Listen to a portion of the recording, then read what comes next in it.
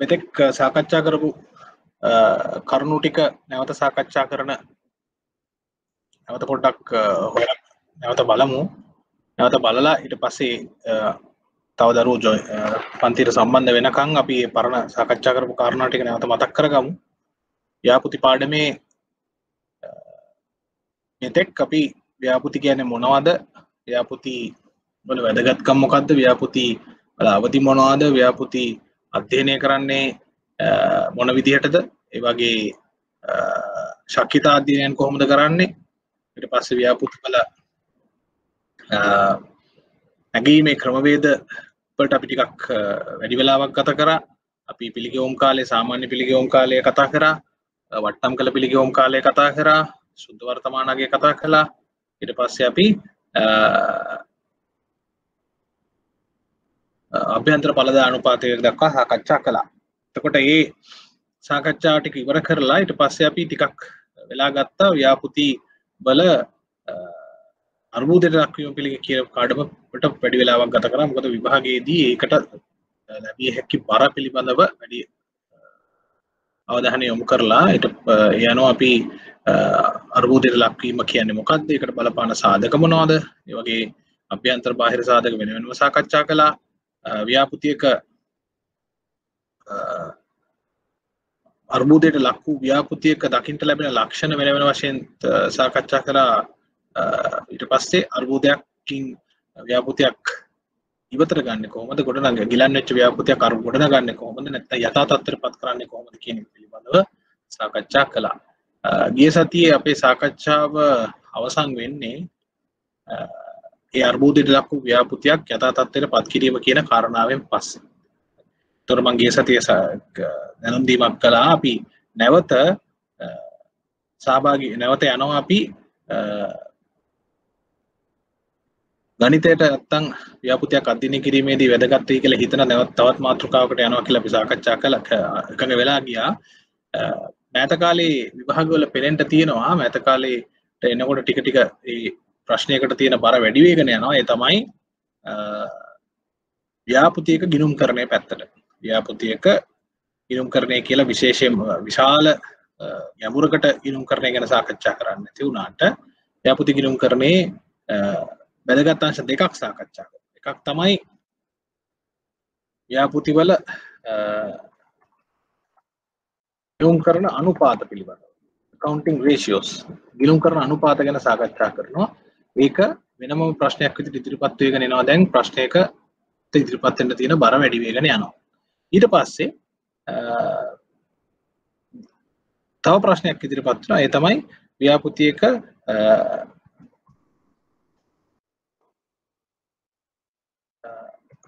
ලාභදායිත්වය සහ නිෂ්පාදනය කියන එක තරමක් ගිනුම් කරණය පැත්තෙන් සොයා බලන ගතියක් දැන් විභාගයේ තියෙනවා. මේ ප්‍රශ්නය දැන් පසුගිය වාර දෙකකදී අනිවාර්යයෙන්ම ඉදිරිපත් වුණා. එතකොට අපි මේ පිළිබඳව දැන් සාකච්ඡාව කරගත යුතු තියෙනවා. එතකොට අපි අද අද අද අපේ පාඩම යොමු වෙන්නේ ඒ ව්‍යාපෘතියක ගිනුම් කරණය කියන පැත්තේ එක වැදගත් මාතෘකාවකට ඒ තමයි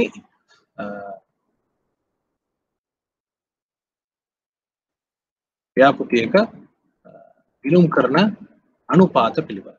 මේ ගිනුම් කරන අනුපාත පාඩම මීට පෙර මංහිතනවා ඔගොල්ලන්ට අයි ස්කෝලෙ මට්ටමේදී පාසල් මට්ටමේදී ඊට පස්සේ IABF මට්ටමේදී සාකච්ඡා කරට ඇති. සමහරලාට මීට වඩා වෙනසා තවත් වැඩිපුර ඉගෙන ගණ්ඩ තවත් විෂයකදී.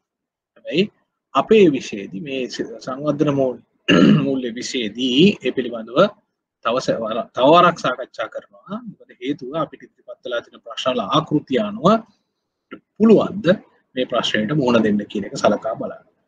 ඒ අනුව අද අපි පාඩමට යොදා අද අපි පාඩමට ඔයගොල්ලන්ට ලබා දීලා තියෙන්නේ නිබන්ධනය ටියුට් එක ඒ පිළිබඳව.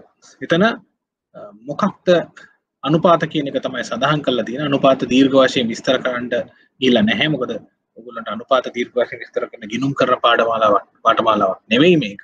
ඒ නිසා අපි බලමු මොකද්ද අද අපි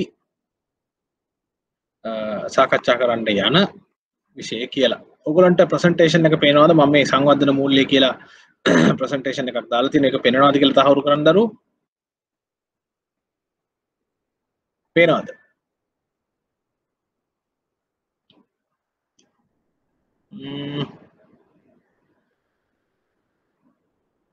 මට එක්ක දරුවෙක් සනාත කරනවා අනිත් අයට පේනවද? අන්තිම දවස් දරුවෝ තුන් දෙනෙක් දෙන්නෙක් ඉන්නවා ඒගොල්ලන්ට පේනවද කියලා කියන්නේ? මම මේ පෙන්වන ටියුට් මේ මේ සංවර්ධන මූල්‍ය හතරවෙනි පාඩම ව්‍යාපෘති ගිණුම් කරණය කියන එක පෙන්වනවද පුතේ?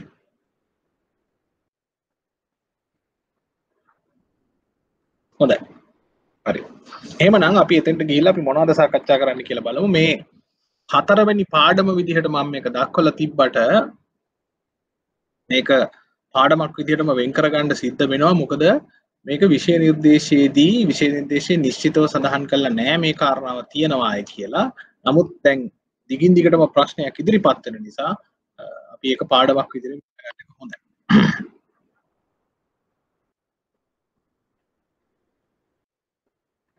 හොඳයි. අපි ඒ අනුව දැන් මේ මේ පාඩමේ මේ මොනවද ඉගෙන ගන්න මෙන්න මෙහෙම ඔතන එක අකුරක් මම හිතන්නේ මේක ටයිප් කරනකොට නෙවෙයි PDF කරනකොට පොඩි වරදක් කරලා තියෙනවා. ව්‍යාපෘති ගිණුම් කරණය වෙන්නට ඕන ප්‍රොජෙක්ට් accounting. ගිණුම් කරන තොරතුරු වල සුලභතාවය මත අනුපාත වර්ග ගණනාවක් සලකා බැලිය හැක. ගණනාවක් සලකා බලන්න පුළුවන්. එකිනෙකට වෙනස් විවිධ ඒවා සලකා බලන්න පුළුවන්. නමුත් අපිට හදාරණ සංවර්ධන මූල්‍ය විෂයට අදාළව පහත අනුපාත වර්ග හැදෑරීමට උත්සාහ කරනවා. එහෙම අපි විශාල වශයෙන් ගිණුම් කරන පාඨමාලාවක් හා සමානව මේක සාකච්ඡා කරන්න බලාපොරොත්තු වෙන්නේ නැහැ. අපි අපේට ලැබෙන විභාගයේදී ඉදිරිපත් වෙන ප්‍රශ්නයකට පිළිතුරු දෙන්න පුළුවන් හැකියාව තියනවාද කියන එක සලකා තමයි අපි මේ ඉදිරිපත් කරන්නේ. මොනවද? ද්‍රවශීලතා අනුපාත මොනවද කියලා බලමු. පිරිවැටුම් අනුපාත ටර්නෝවර් රේෂියෝස් මොනවද කියලා බලමු. ලාභදායීත්ව අනුපාත තෝලන අනුපාත ආයෝජන අනුපාත කාර්යක්ෂමතා අනුපාත මේ අනුපාත වර්ග හයක් මෙතන සඳහන් කරලා තිබුණාට මේ හා සමානව අපි වැදගත්ම ටික විතරක් වෙනම අරගෙන තමයි මම ටියුට් එකට යොදලා තියෙන්නේ. දැන් මේ මේ සම්බන්ධයෙන් ඊට පස්සේ හදලා තියෙන ටියුට් එකට ගියොත් මේ ටියුට් එක ටිකක් දීර්ඝයි. නමුත් ඒක දීර්ඝ වෙලා තියෙන්නේ මම තොරතුරු ටික ටිකක් හොඳට පැහැදිලිව පෙනෙන විදිහට නිර්මාණය මේකේ හදලා දුන්නා. මොකද එහෙම නොවුනොත් එහෙම මේක කියව ගන්න අමාරු වෙන නිසා. හරි. මම මේ ගිණුම් කරන අනුපාත විදිහට පෙන්වන ටියුට් එක දැන් ඔයගලන්ට පේනවද පුතේ? ඒ මං මෙන්න මේ දැන් පෙන්වන ටියුට් එක පේනවද කියන එක සඳහන් කරන්න. ගිණුම් කරන අනුපාත. හොඳයි. එතකොට ගිනුම් කරන අනුපාත මම නැවතත් අර ප්‍රසන්ටේෂන් එකේ තිබිච්ච තිබුණු කොටසම තමයි මෙතන තියෙන්නේ. ගිනුම් කරන අනුපාත ආධාරණ විෂයට අදාළව මේ ටික අපි උත්සාහ කරනවා කියලා කලින් සඳහන් කරපු කාරණාව තියෙනවා. දැන් මූලික කාරණාව තමයි විභාග ප්‍රශ්නයක් ඉදිරිපත් වුණත් ඉදිරිපත් වෙලා තියෙන හැටි දැක්කහම දැක්කහම පහුගිය කාලේ ප්‍රශ්නය ඉදිරිපත් වුණේ අනුපාතය කුමක්ද කියලා හදලා කියන්න. හදලා අනුපාතය කුමක්ද?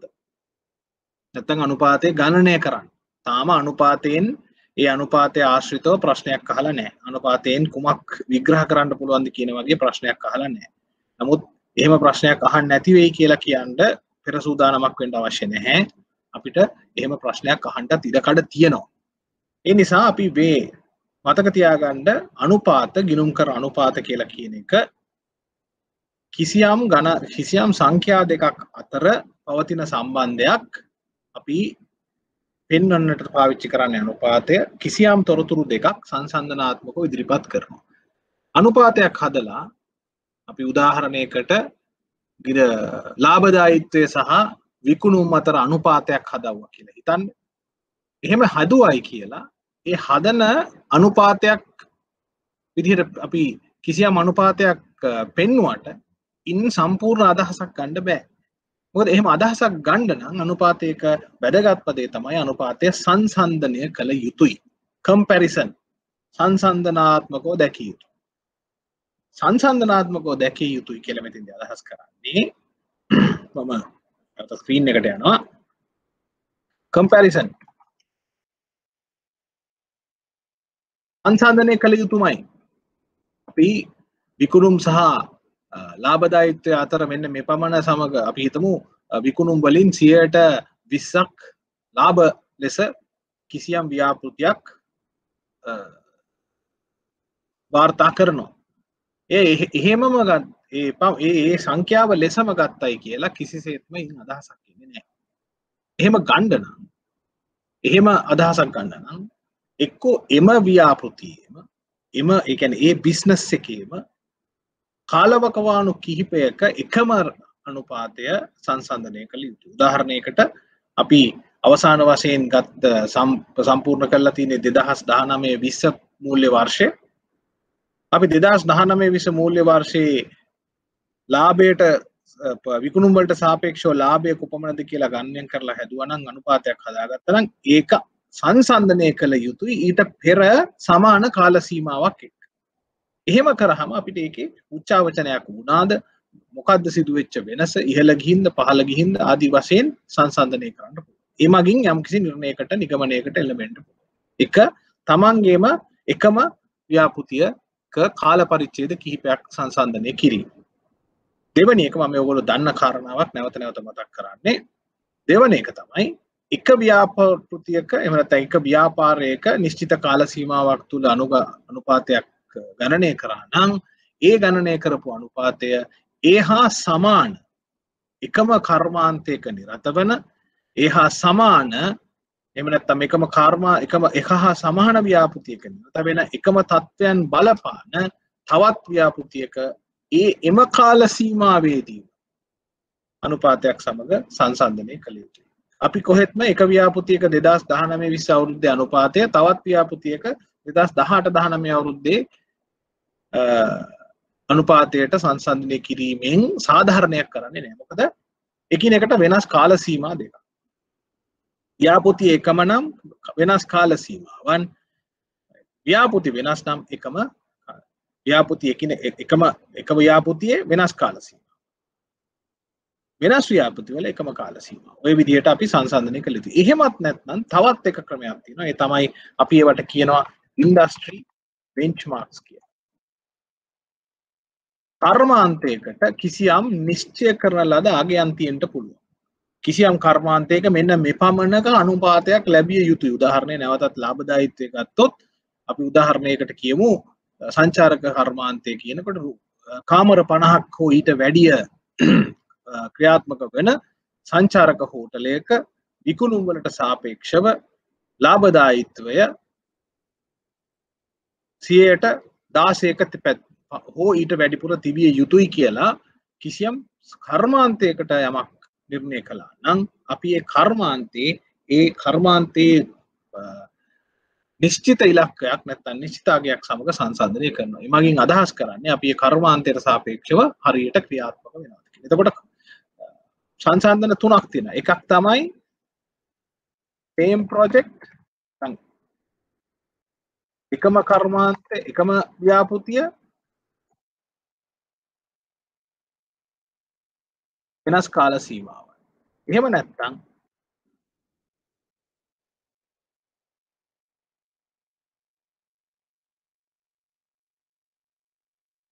එකම කර්මාන්තයේ ඉන්න එකම කර්මාන්තයේ ඉන්න ව්‍යාපෘති එකම කාල සීමාවට වෙන්න පුළුවන්. එහෙම නැත්නම්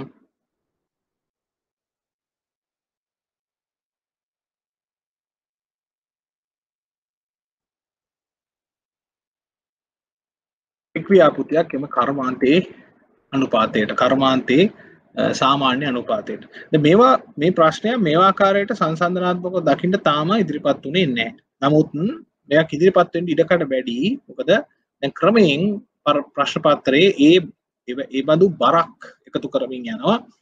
පහුගිය මුරුදු පහකට එහා පැත්තිදල ප්‍රශ්පත්‍ර දිහා බැලුවොත්හෙම ක්‍රමයෙන් ව්‍යාපුත්තේ ප්‍රශ්නපත්තරයට එන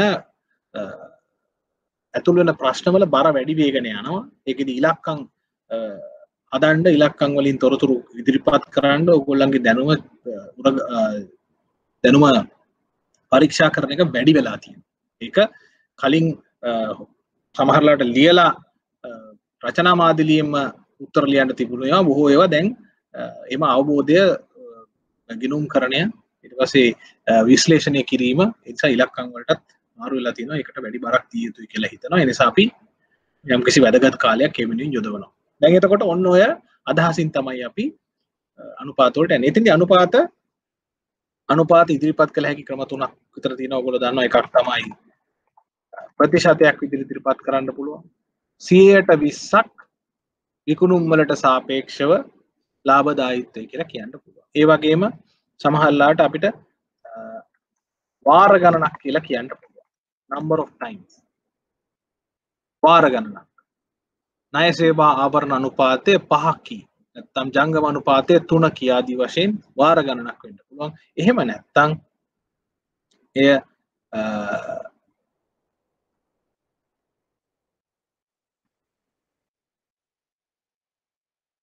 සංසනා සංසන්ධනය කළ හැකි ඉලක්කම් වලින් දෙන්න පුළුවන් උදාහරණයකට එකට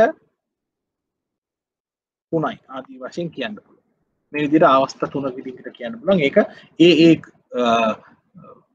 අනුපාතයට අදාළව භාවිත කරගේ සමහරක් අනුපාත වාර ගණනින් පමණක්ම කිව යුතුයි නැත්නම් අදහසක් ගන්න බෑ. තවත් අනුපාත වාර ගණනකින් කියනවා හා වගේම ප්‍රතිශතයකිනුත් සඳහන් කරන්න පුළුවන්. එයින් අදහස තවදුරට වර්ධනය වෙනවා. එහෙම නැත්නම් අදහස තීව්‍ර වෙනවා. තවත් එකක් වාර ගණනකින් කියනවා වාගේම සංසන්දනාත්මක ඉලක්කම් දෙකකින් සඳහන් කරන්න පුළුවන් මේක ඒ ඒ අවස්ථාවේ යෙදෙන විදිහට ප්‍රශ්නයේදී බලන්නට ඕන. දැන් ඔය මම මූලික හැඳින්වීමක් කළේ දැන් උදාහරණයකට ණය සේවා උදා සමාන ජංගම අනුපාතය 3ක් කියලා කීවාම අපි අදහස අවබෝධ කරගන්නවා. නමුත් ඒ වගේම කියන්න පුළුවන් 3ට එකයි කියලා.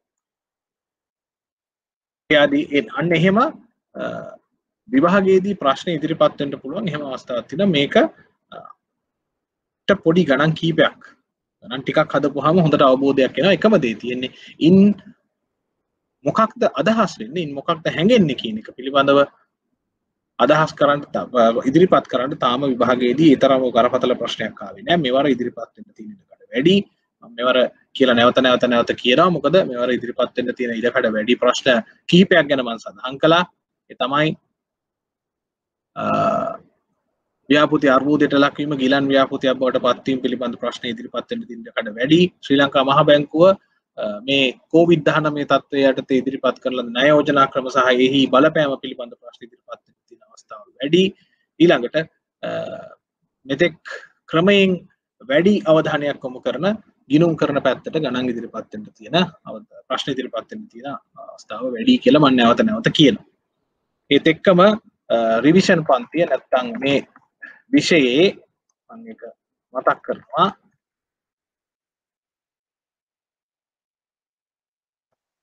මේ විෂයේ දැ අපි අපි මීට කලින් මාර්තු මාසයට විභාගයට ඉලක්ක කරගෙන අපි පුනරීක්ෂණ පන්තියක් රිවිෂන් පන්තියක් තිබුණා. නමුත් එවර විභාගය පවත්තා ගන්න අපිට අවාසනාවට බැරි වුණා. නමුත් නැවත වතාවක් දැනට සැලසුම් කල්ලා තියෙනවා මේ විෂයේ සිංහල මාධ්‍යයේ පුනරීක්ෂණ පන්තිය ඔක්තෝබර් මාසේ එකොලොස් වෙනිදා තිබෙනවාය කියලා මට දැනට දැනට දැනුම් දීලා තියෙනවා. තම ඔගොල්ල දන්න අයට ඒක දැනුම් දෙන්න පුළුවන්. දැනට මං හිතන්නේ තාම ඒ තොරතුරු තාම ප්‍රසිද්ධ කල්ලා නැතිව ඇති. නමුත් දැනට සම් පුනරීක්ෂණ පන්ති පැවැත්වන බවට පන්තිට ඇවිල්ල දරුවන්ට ඉගෙන ගණඩ අවස්ථාව දෙනවා කියන එක දැනට සඳහන් කළ තියෙනවා. අපි ඉදිරියේදී ඒ පිළිබඳව වෙන වෙනස්කන්ති වුණොත් දැනුම් දෙයි. කෙසේතත් දැනට දිනය මට ලබාදීලා තියෙන දින ඔය ඔක්තෝබර් මාසේ කොළස්වනි ඉරිදා. හරි. ඒ අනුව අපි යනවා ටියුට් එකට. හොඳයි. මම මේ මෙතෙක් කියපු ටික දැන් තේරුණාද මේ මේ පිළිබඳව නැත්තම් තව දැනුවත් කර යුතුද? අනුපාත සම්බන්ධයෙන්? අනුපාත කියලා කියන අපි කතා කරනකොට කියන්න මොනවද කියලා. මොන හරි තේර තේර නැති දෙයක් තියෙනවා නම් දරුවෝ කියන්න බලන්න අද දැන් අපිට පන්තිට දරුවෝ ටිකක් එකතු වුණා. ඔව්. දැන් දරුවෝ හත් දෙනෙක් විතර ඉන්නවා. මොන හරි දැනගත යුතු දෙයක් තියෙනවද? දැන් මෙතෙක් කතා කරපු කරුණු තේරුණාද? අනුපාතයක් කියලා කියන්නේ ඉලක්කම් දෙකක් අතර පවතින සම්බන්ධතාවයක් පෙන්වන එක. ඒ පෙන්වීමෙන් අදහසක් ජනිත කරන්න උත්සාහ කරනවා. අනිවාර්යයෙන්ම අනුපාතයක් තවත් සංසන්දනාත්මකව දැකිය යුතුමයි. එහෙම නැතු අනුපාතයක් හුදෙක් අනුපාතයේ ලෙසම පෙන්වීමෙන් පෙන්වීමෙන් කිසි අදහසක් ගන්න බෑ. ඒකත එනිසාවෙන් අපි සංසන්ධනය කළ යුතු ක්‍රම තුනක් ගැන මම සඳහන් කළා. එකම ව්‍යාපෘතියේ පසුගිය කාල සීමා කිහිපයක් වෙනස් ව්‍යාපෘතිවල එකම කර්මාන්තයේ වෙනස් ව්‍යාපෘතිවල එකම කාල සීමාවේ අනුපාත එහෙම නැත්තම් එක් ව්‍යාපෘතියක් අදාළ කර්මාන්තයේ සාමාන්‍ය අනුපාතයක් සම එහෙම තුනක් සඳහන් කළා. තමයි මෙතෙක් මේ අපි දැන් මේ සාකච්ඡාව කරේ. හොඳයි.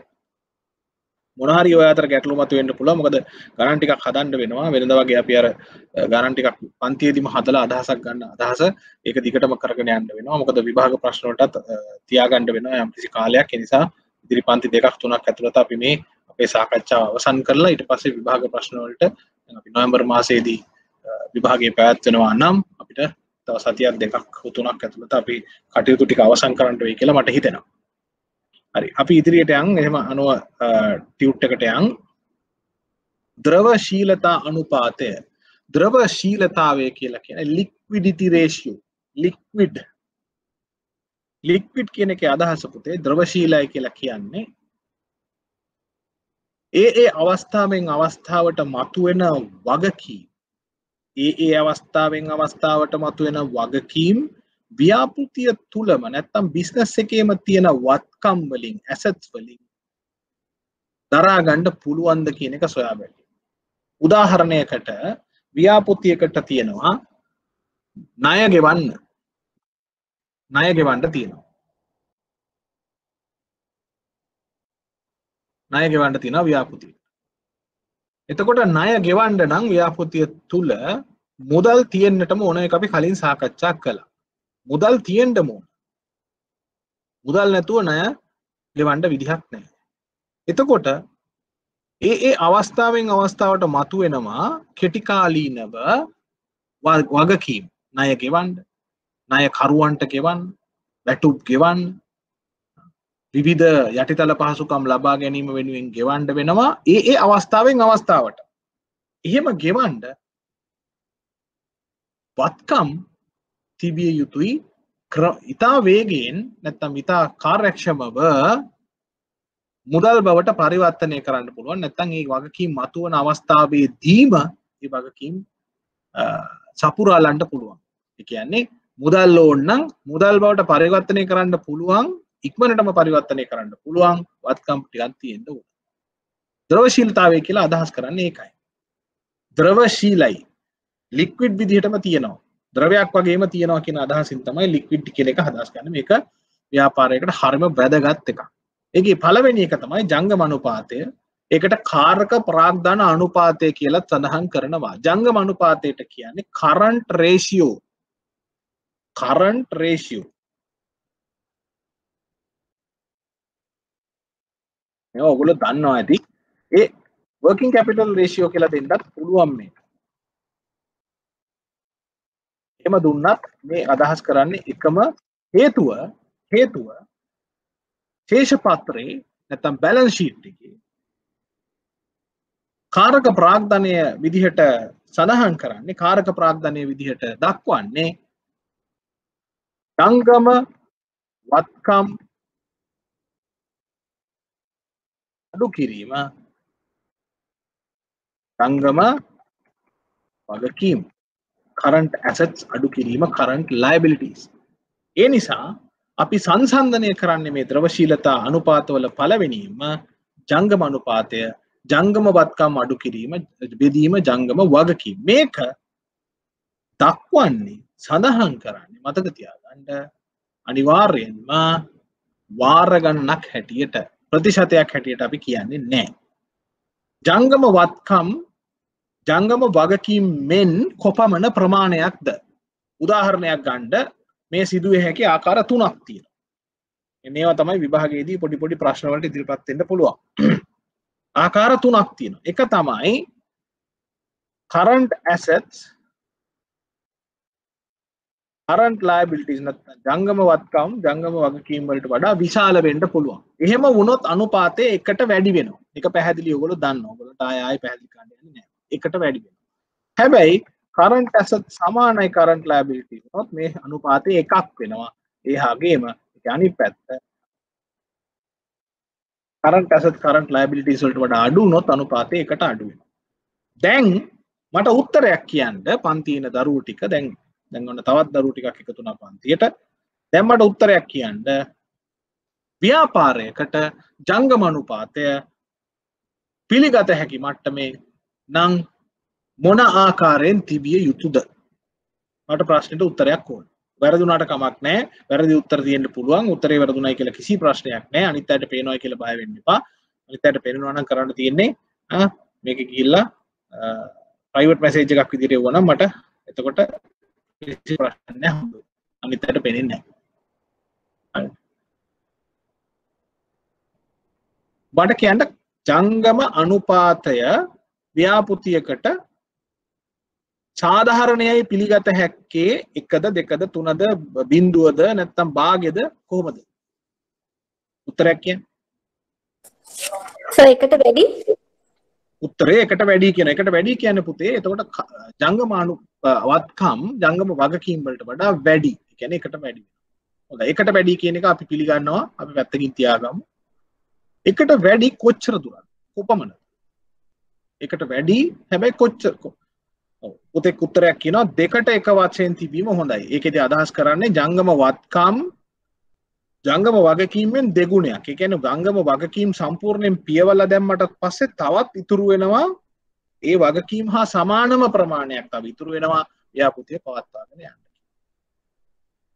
තව පුතෙක් කිව්වා ජංගම වගකීම් ජංගම වත්කම් වගකීම් වලට වඩා වැඩි වෙන්න ඕනේ කියලා.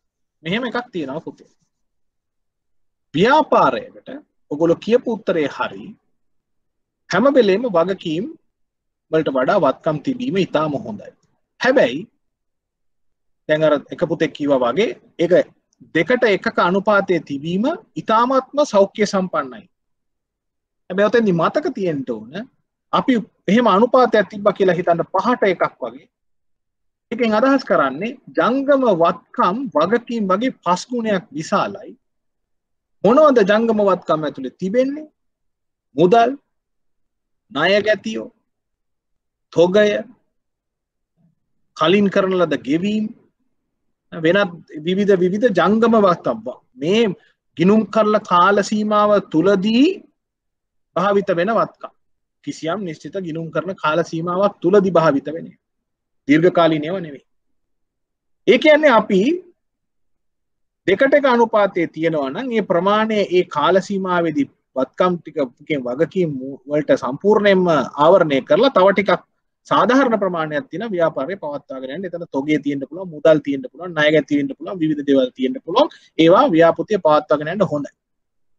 හැබැයි මම අර සඳහන් කරා වගේ පහට එකක් වගේ තියෙනවා කියලා කියන්නේ වගකීම් වලට මූුණ දීලා තවත් මහ විශාල ප්‍රමාණයක් අපේ අංගම වත්කම් විදිහට ඉතුරු වෙනවා. ඒකෙන් අදහස් කරන්නේ අපි එක්කෝ තොගයක් ලෙස එක්කෝ ණය ගැතියන් ලෙස විවිධ විදිහට අපි වත්කම් විදිහට යම් ව්‍යාපාරයේ හැකියාව හිර කරගෙන ඉන්නවා. එකෙන් වෙන්නේ ව්‍යාපාරයට මුදල් ජනනය කරන හැකියාව අඩු වෙනවා. ඇයි? අපි ණය ගැතියන්ගේ වැඩි ප්‍රමාණයක් තියාගෙන හිටියොත් මොකද වෙන්නේ? ණය ගැතිය ගොඩක් ඉන්නවා. ඒ නිසා ජංගම වත්කම් වැඩි, ජංගම අනුපාතයත් වැඩි. හැබැයි ජංග එහෙම ණයගැතියෝ ඉන්නට ඉන්නට ඒ කියන්නේ අපි නිකම් විකුණලා තියෙනවා මුදල් ගන්නේ නැතුව. එහෙම නැත්නම් අපි ළඟ විශාල තොගයක් තිබීම නිසා ජංගම අනුපාතය වැඩි වෙලා තියෙනවා. මොකද විශාල තොගයක් තිබෙනවා කියලා කියන්නේ ජංගම වත්කම් වැඩි. තොගේ අනවශ්‍ය විදිහට රැස් කිරීම ව්‍යාපාරයට මුදල් ජනනය කිරීමට බාධාවක් කරනවා.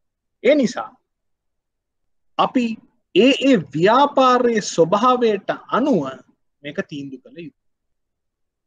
දැන් එතකොට දරුවෝ කීවා එකට වැඩිය තිබීම හොඳයි. එකට වැඩිය තිබීම හොඳයි.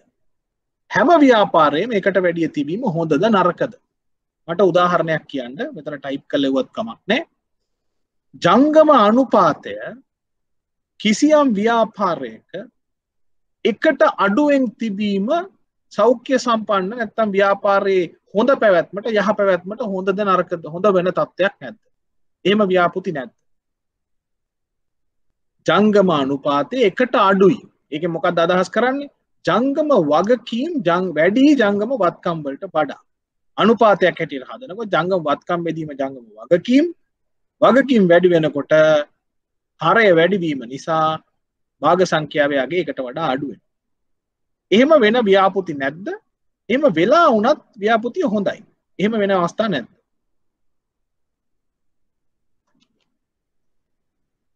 එට පුංචි අදහසක් ගණ්ඩයි මම කියන්න. උදාහරණයක් කියන්න.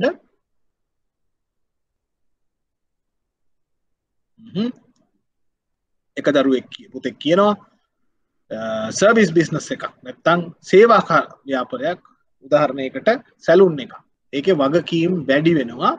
වත්කම්වලට වඩා කිය දයි තව උදාහරණයක් කියන්න.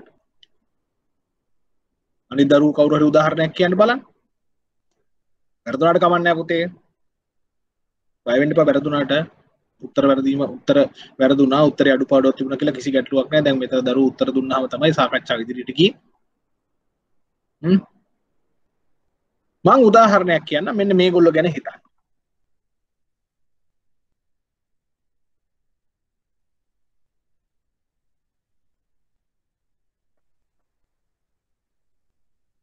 ජහන් පුතේ ඔයා කියන උත්තරේ මැනුෆැක්චරින් ඉන්ඩස්ට්‍රි කියලා කියන්නේ නිෂ්පාදන කර්මාන්තයක වත්කම් වලට වඩා වගකීම් වැඩි කියලා එකක් කියනවා. එතකොට වත්කම් අඩු වුණොත් එහෙම වගකීම් ටිකට මුහුණ දෙන්න බැරි වෙනවා. නිෂ්පාදන කර්මාන්තයක එහෙම වෙන්න ඉඩ කඩ ඔයා ඔය හිතන්නේ පුතේ මේවා හින්දා. මොකද ණයට විකුණන්න වෙන නිසා. වෙන්න පුළුවන්. ණයට විකුණන්න වෙන්න පුළුවන්. හැබැයි දීර්ඝකාලීනව පවත්වාගෙන යෑමේදී ගැටලු මතුවෙන්න පුළුවන්. එක නිෂ්පාදනය කරන මැනිෆෙක්චරින් ඉන්ඩස්ට්‍රි නිෂ්පාදන කර්මාන්තයක ජංගම අනුපාතයකට වඩා අඩු වෙන අවස්ථාවක දීර්ඝකාලීන පැවැත්මක් බඳ ගැටලුවක් එන්න පුළුවන්. කීප උත්තරේ වැරදි නෑ. එහෙම වෙන්න පුළුවන්. අපි හිතමු උදාහරණයකට මොන හරි නිෂ්පාදනය කළ වෙළඳ පොළ ඉදිරිපත් කරනවා ණයට විකුණන්න සිද්ධ වෙනවා. තොගයකුත් තියාග තොගය එකට වත්කම් වගකීම් වැඩි කියලා කියන්නේ අපි විකුණලා විකුණලා මොනවාද අපිට ගෙවන්න තියෙනවා වැඩි. ණය හිමියන් වැඩි. අපි මොනද තවත් තියෙන අපට ගෙවන්න තියෙන වෙනත් ගෙවීම් තාම කරලා නැහැ. ඒ වගේ ළඟ ණය වාරික වැඩි කෙටි කාලින් ණය වාරික වැඩි. එම වෙන්න පුළුවන් අවස්ථා හරි. මේ වගේ කාලෙක එහෙම වෙන්න ඉඩකඩ හොඳටම තියෙනවා. හැබැයි ඒකෙන් සෞඛ්‍ය ගැන යම් කිසි අනතුරුදායක සංඥාවකුත් ඉදිරිපත් වෙනවා. දැන් මම කියපු උදාහරණේ බලන්න. කාගිල්ස් ආපිකෝස් කීල්ස් වගේ සුපර්මාකට් බිස්නස් වල බොහෝ භාණ්ඩ තියෙන්නේ බොහෝ භාණ්ඩ ණය මත ගත්තේ. හාල් සීනි පරිප්පු විවිධ දේවල් ඒගොල්ලෝ අඩුම ගානේ දින 30කට කල් ඉල්ලගෙන තියෙනවා. මුදලට අරන් අත්පිට මුදලට අරන් විකුණන ඒවා බොහෝ අඩුයි. ඒගොල්ලන්ගේ ශේෂපත්‍රය බැලුවොත් ඒ ශේෂපත්‍රයේ වැඩිමනක් තිබෙන්නේ ණය හිමියන් නැත්තම් ක්‍රෙඩිටර්ස්. ඒගොල්ලන්ගේ තොගයකුත් තිබෙනවා. තොගයක් තිබෙනවා. එක පැත්තකින් ණය හිමියන් නිර්මාණය වෙනකොට අනිත් පාර්ශවයෙන් තොග නිර්මාණය වෙනවා. අපි ජංගම අනුපාතය ගිහිල්ලා හදලා බැලුවොත් එක හෝ එකට බොහොම චුට්ටක් අඩුවෙන් තියෙන ඉඩකඩ හරි වැඩි. හැබැයි එතෙන්දී අදහසක් එනවා මෙහෙම දෙයක්. අපිට හිතෙනවා කිසියම් අවස්ථාවක ව්‍යාපෘති අසරණ අබ අබ අබලන් තත්ත්වයට නැත්තම් ගිලන් වුණොත් වත්කම් ටික මදි නේද වගකීම් ටික ගෙවා ගන්න හැබැයි එතෙන්දි මොකක්ද ඒගොල්ලන්ගේ ව්‍යාපාරය සිද්ධ වෙන්නේ? ඒගොල්ලෝ ණයට ඉල්ලගෙන ශේෂපත්‍රයේ ණය හිමියන්ගේ ප්‍රමාණය වැඩි කරගෙන තියෙනවා. හැබැයි ඒ ගන්න හැම එකක්ම ඒගොල්ලෝ විකුණන්නේ මුදලට අත්පිට මුදලට. එම අත්පිට මුදලට විකුණන නිසා ශේෂපාත්‍රයේ ජංගම වත්කම් යටතේ ණය ගැතියන් ඉතාම සුළු වශයෙන් නැති තරම්. සාමාන්‍ය ගණදුණු කරු කොහොමත් ඉන්න විදිහක් නැහැ ණය ගැතිය විදිහට මේ වගේ බිස්නස් එකක. මොකද ඒගොල්ලෝ ණයට විකුණන්නෙම නැහැ. සමහරලාට ණය ගැතියන් විතරින් ඉන්න පුළුවන් වෙනත් කිසියම් කටයුත්තක් සඳහා ඒගොල්ලන්ගෙන් සේවා ලබා ගත්ත අය වගේ බාණ්ඩ ගත්ත අය ඉන්න පුළුවන්. නමුත් තොග එයාගේ එයාගේ මුදල් හැබැයි වැඩි වෙනවා. එය මුදල් වලට මොකද කරන්නේ? නැවත වතාවක් ඉතා වේගයෙන් පරිවර්තනය කරනවා. අර ණය හිමියන්ව පියවන්න. එතෙන්දී මොකද්ද ව්‍යාපාරයේදී අපිට බලලා කියන්න පුළුවන්. ව්‍යාපෘතිය එහෙම කරන එකේ විශාල සාර්ථකත්වයක් තියෙනවා. මොකද හේතුව දින 30කට දින 60කට ආදී වශයෙන් ණයට සැපයුම් ලබාගෙන එය විකුණුම් කරන්නේ මුද අත්පිට මුදලට. එහෙම කරනකොට භාණ්ඩ එකවරක් අරගෙන ගිනු ගනුදෙනු කරුවන්ට මුදලට විකුණලා ඒ මුදල් ප්‍රමාණය නැවත ඉවෙලම ගෙවන්නේ නෑ නය හිමියට. ඒ මුදල ව්‍යාපෘතිය තුළ සංසරණය කර නැවත ඒ විකුණපු භාණ්ඩ ප්‍රමාණයට සවාන මුදල් ප්‍රමාණයක් සැපයුම් කරුවට විකුණන්නේ සමහරලට තිත තිහකින් හතලිස් පාකින් හෝ හැටකින් අදි වශයෙන් දීර්ඝ කාලෙකි එතැනි මොකද වෙන්නේ? ඇත්ත වශයෙන්ම මේ ව්‍යාපාර තිබෙන්නේ අනුන්ගේ සල්ලි වලින්. ලාභ හොයමින් ලාභ හොයමින් ගෙවීම් ප්‍රමාද කර ගනිමින් ඉදිරියට යනවා. ඒ ලාභ ව්‍යාපාරයට අන්තර්ගත ගහන්න කරමින් ඒ අනුව අනුන්ගේ සල්ලි වලින් තව ප්‍රොෆිට් හොයන විදිහක් තමයි ඔය. මේක ගමේ කඩේ පොතට බඩු විකුණනවා කියලා ඔයගොල්ලෝ අහලා තියෙනවා ඇති. ණයට පොතට බඩු විකුණනවා කියලා ගාමේ සාමාන්‍ය කඩවල කතාවක් තියෙනවා.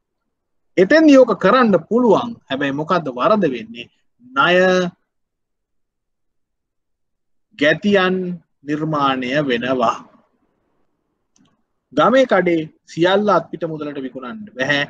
යම් ප්‍රමාණයක් ණයටත් විකිනවා එතකොට ඒ ණය ගැතියෝ ගෙවීම් ප්‍රමාද කරලා නැත්තම් ගෙවීම් පැහැර හැරිය නිසා විනෝත් ගමේ කඩේට පවත්වාගෙන යන්න බෑ නමුත් කාගිල්ස් එක නැත්තම් ආපිකෝ නැත්තම් කීල්ස් නැත්තම් වෙනත් විශාල පරිමාණයෙන් කරගෙන යන ඔය මේ අත්‍යවශ්‍ය භාණ්ඩ වෙළඳාමේදී මේක කර ගැනීමේ හැකියාව වැඩි. ඖෂධ වෙළඳාමේදී නැත්නම් සාමාන්‍ය සිල්ලර මට්ටමේ ඖෂධ වෙළඳාම ෆාමසි එකකින් කරනකොට මේක කරන්න පුළුවන්. ඒ නිසා ව්‍යාපෘතිය ස්වභාවය අනුව සමහර වෙලාවට ජංගම අනුපාතය එකට වඩා අඩුවෙන් තියාගන්නත් වෙන්න පුළුවන්. එය ව්‍යාපාරයේ සාර්ථක ක්‍රමවේදය වෙන්නත් පුළුවන්. සාමාන්‍ය තත්ත්වයටදී ඔයගොල්ලෝ දුන්න උත්තරේ හරියටම හරි. සාමාන්‍ය තත්ත්වයටදී ජංගම වත්කම් ජංගම වගකීම් වලට වඩා වැඩි ප්‍රමාණයක් තිබීමෙන් අනුපාතය එකට වැඩි වෙන්න ඕන දෙකට එක අනුපාතය තිබීම ඉතාම හොඳයි උත්තරේ දුන්න හදියට ඔයගොල්ලෝ කියපු විදිහට. දැන් විභාගයේදී ප්‍රශ්නය ජංගම අනුපාතය ගණනය කරන්න කියලා දෙන්න පුළුවන්. ජංගම අනුපාතය ගණනය කරන්න විතරක් එන්න පුළුවන්. ජංගම අනුපාත දෙකක් දීලා නැත්තම් අනුපාතය දෙකක් ගණනය කර මේ පිළිබඳව අදහස් දක්වන්න කියන්නත් පුළුවන්. අනුපාතය හොඳ පැත්තට වර්ධනය වෙලා නම් ඉන් කුමක් අදහස් වේද කියලා කියන්න. එහෙම නැත්තම් ජංගම අනුපාතය වැරදි පැත්තට නම් සිද්ධ වෙලා තියෙන්නේ ඉන් සිදුවේ හැකි හානිය පිළිබඳව සඳහන් කරන්නත් කිසියම් වාක්‍යයක් හෝ දෙකක් ලියා ගන්න පුළුවන් වෙන්න ඕන උත්තර පත්‍රවල වාක්‍යයක් හෝ දෙකකින් තමයි ඔයගොල්ලන්ගෙන් අදහස බලාපොරොත්තු වෙන්නේ. එහෙම නැතුව දීර්ඝ විස්තර කිරීම බලාපොරොත්තු වෙන්නේ නැහැ. තේරුණාද මේ කියපු ටික? ඒ අංගම අනුපාතයේ විතරක් අරගෙන සඳහන් කරොත් අපිට මොනවද ඉගෙන ගන්න පුළුවන් කියන එක තේරුණාද? තේරුණාද ඒ කියපු කතාව? ඔය පන්ති අනිත් දරුවෝ ටික. හ්ම්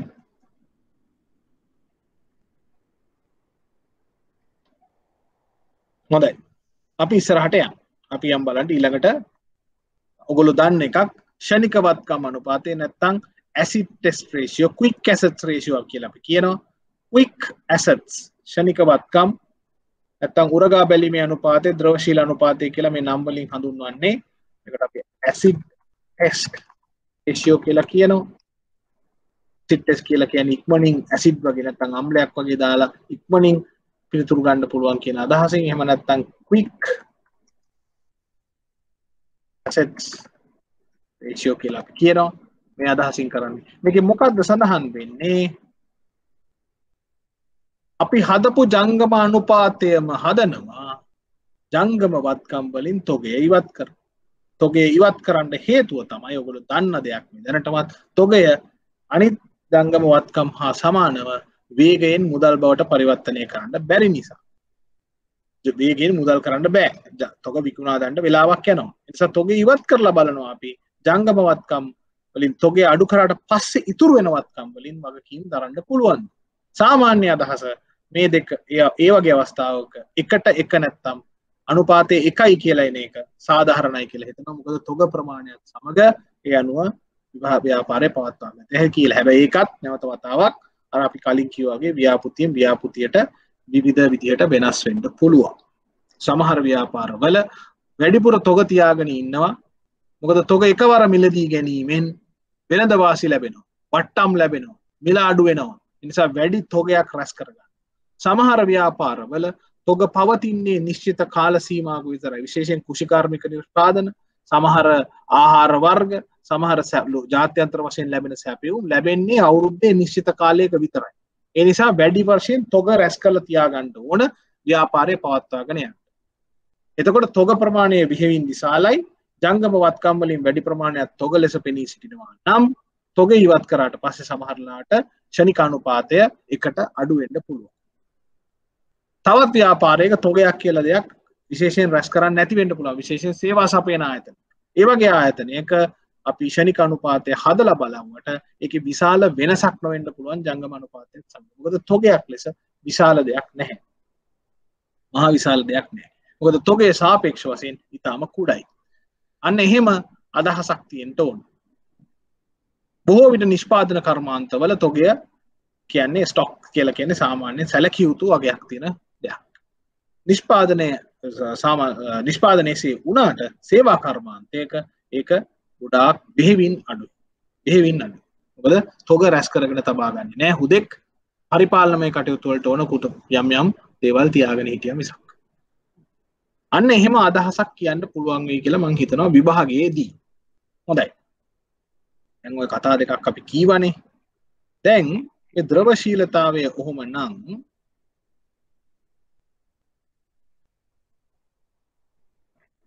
විභාගයේදී මේ ප්‍රශ්නේ පේනවද පුතේ? අපි එතෙන්ට එමු පස්සේ. හරි. හොඳයි. අපි ගණන් වලට පස්සෙමු. ගණන් වලට පස්සෙමු. තව ටිකක් වෙලා කතා කරලා අපි ගණන් වලට පස්සෙමු. මොකද අපිට වෙලා එතන තව තව ප්‍රමාණයක් ඉගෙන ගත්තට පස්සේ අපිට පුළුවන් එතෙන්ට එන්න.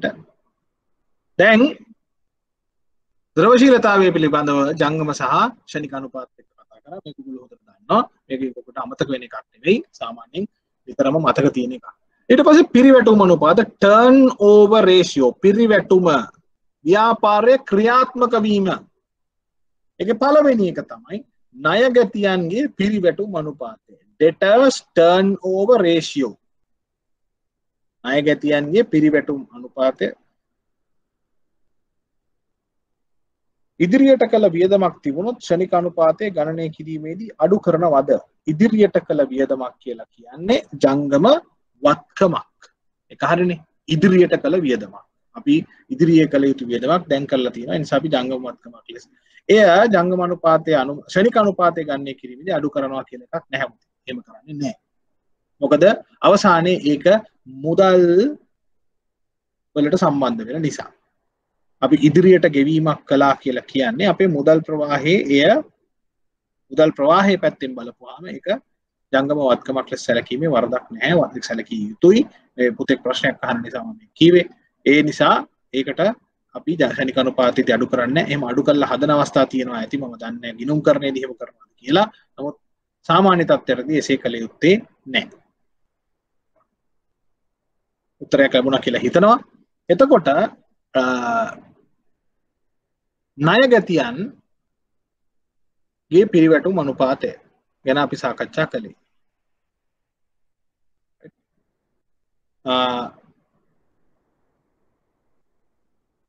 ණය ගැතියන් අපි මේ මේ මේ පිරිවැටුම් අනුපාත සාකච්ඡා කරනකොට නිතරම බලාපොරොත්තු වෙන්නේ ව්‍යාපෘතියක නැත්නම් ව්‍යාපාරයක. අපි කොච්චර වේගයෙන් කොච්චර හොඳට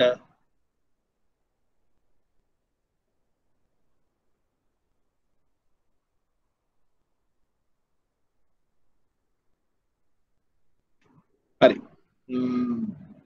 කොච්චර වේගයෙන් කොච්චර හොඳට ව්‍යාපාරය පවත්වාගෙන යනවාද වේගවත්ව කාර්යක්ෂමව පවත්වාගෙන යනවාද කියන එක තමයි සල්කා බලන්නේ. දැන් මෙතන ණය ගැතියන් අපි කොපමණ වනට ව්‍යාපාරය තුල මාරු කරනවද? අපි ණය ගැතියන් බොහෝ කාලයක් තියාගෙන ඉන්නවා කියලා කියන්නේ කිසියම් කෙනෙකුට රුපියල් 100ක භාණ්ඩ විකුණුවා එයා ඒක ගෙවනවා ගෙවන්නේ ගෙවන්නේ ගෙවන්නේ නෑ ගෙවන්නේ නෑ. සෑහෙන දවසක් ගෙවන්නේ නෑ කියන්නේ. අපි බහන්ඩ හා සේවා විකුණලා තියෙනවා. අපි එකට ඕන ක්‍රියාවලිය සම්පූර්ණ කරලා තියෙනවා. අපි ලාභය අපේක්ෂාවෙන් මිලක් තීන්දුව කරලා විකුණලා තියෙනවා. දැන් තව දුරටත් මේ මුදල එන්නේ නැහැ එන්නේ නැහැ කියලා කියන්නේ ව්‍යාපාරය තුළ ව්‍යාපාරයේ ක්‍රියාකාරීත්වය පිළිබඳව ඔන්න කිසියම් සංඥාවක් නිකුත් කරනවා. පිරිවැටුම් අනුපාතවලදී ඒ පිරිවැටුම කියලා කියන්නේ කොච්චර ඉක්මනට ඒක නැවත නැවත පුනර චක්‍රයක් තුළ කරකවනවාද කියන එක තමයි අදහස්. ටර්න් ඕව ටර්න් ඕව අපි ටර්න් ඕව කියලා ගැන ඒක තිබුණ තැනින් ආය නැවත යතා තත්තර පත් කරන නැවත ගන්න නැවත ගන්නවා ආදී වශයෙන් කළ යුතුයි. ණය ගැතියෝ අපි කැමති වෙන්නේ ණය ගැතියන් පිරිවැටුම වැඩි වෙනවටද අඩු වෙනවට ණය ගැතියන්ගේ පිරිවැටුම වැඩි වෙන්න ඕනද අඩු වෙන්න ඕනද? අපි බලමු මේ අනුපාතය ණයට විකුණුම්. වලින් අපි ණයට ණය ගැතියන්ගේ සාමාන්‍යයෙන් බෙදලා තමයි පිරිවැටුම් අනුපාතය හදන්නේ. හරිද? මෙතන printing වල පොඩි ප්‍රශ්නයක් තියෙනවා. ණය ගැතියන්ගේ සාමාන්‍ය මම මෙන්න මේ මේක ඔයගොල්ලන්ට highlight වෙලා පෙනෙන්නේ නැහැ. ණයගැතියන්ගේ සාමාන්‍ය කියලා කියන්නේ කිසියම් කාල සීමාවක ආරම්භක ණයගැතියන් ප්‍රමාණය එකතු කිරීම අවසානයේ ණයගැතියන් ප්‍රමාණය බෙදීම දෙක. හරි. මෙතන මොකද්ද මේ ණයගැතියන්ගේ සාමාන්‍ය ගන්න හේතුව? ණය ගැතියෝ ඩෙටර්ස්ලා කොච්චර ඉක්මනට අපි ව්‍යාපාරය තුළ ඉක්මනට ඉක්මනට ඒගොල්ලන්ගේ සල්ලි අරගෙන ආය නැවත ඒගොල්ලන්ට බහන්න විකුණලා නැවත ණයගැතියන් බවට පත් වෙනවා. ආය සල්ලි ඉක්මනට අපිට දෙනවා. ඒ විදිහට යන්න අපි කොච්චර වේගෙන් කරනවද කියන එකයි අදහස. එක්කෙනෙකුට ගෙවලා නැත්තම් මහා විශාල කාලයක් බලා ඉන්නවා කියලා කියන්නේ ව්‍යාපාරයට ලාභයක් නැහැ වේගයෙන් ණයගැතියන් නැවත මුදල් බවට පරිවර්තනය කරමින් යනවා කියලා කියන්නේ අපි වැඩි වැඩියෙන් වැඩි වැඩියෙන් ලාභ හොයනවා. ණයගැතියන්ගේ සාමාන්‍ය ගන්න හේතුව තමයි එහෙම නැතුව අපි නිශ්චිත දිනයක ගත්තොත් ඒ නිශ්චිත දිනේදී ණයගැතියන්ගේ ප්‍රමාණය වෙනස් වෙන්න පුළුවන්. සමහර එකක අවසාන ආරම්භක ණයගැතියන් ප්‍රමාණය වැඩි වෙන්න පුළුවන්. අපි ආරම්භ කාලයේදී ආරම්භ කරන්න වැඩිපුර තොගයක් තියාගෙන ඉඳලා. එහෙම නැත්නම් අඩුවෙන් තියෙන්න පුළුවන්. මොකද අපි වසර අවසානයේ තොග ඔක්කොම විකුණලා දාලා ඊළඟ වර්ෂයට යනකොට ආරම්භක තොගේ ගොඩක් අඩුයි. ආරම්භක ණයගැතිය ගොඩක් අඩුයි. අපි සේරම සල්ලි ආය කරගෙන. එහෙම වෙන්නත් පුළුවන්. ඒ නිසා තමයි අපි ආරම්භය එකත් අරගෙන අවසාන එකත් අරගෙන දෙකට බෙදන්නේ. හැබැයි ඕක වඩාත්ම සාර්ථක වෙන්නේ දිනපතාම තිබිච්ච ණයගතියන්ගේ ප්‍රමාණයන් අරගෙන ඒ ඔක්කොගෙම සාමාන්‍ය ගන්න පුළුවන් නම් තමයි හරියටම හරියන්නේ.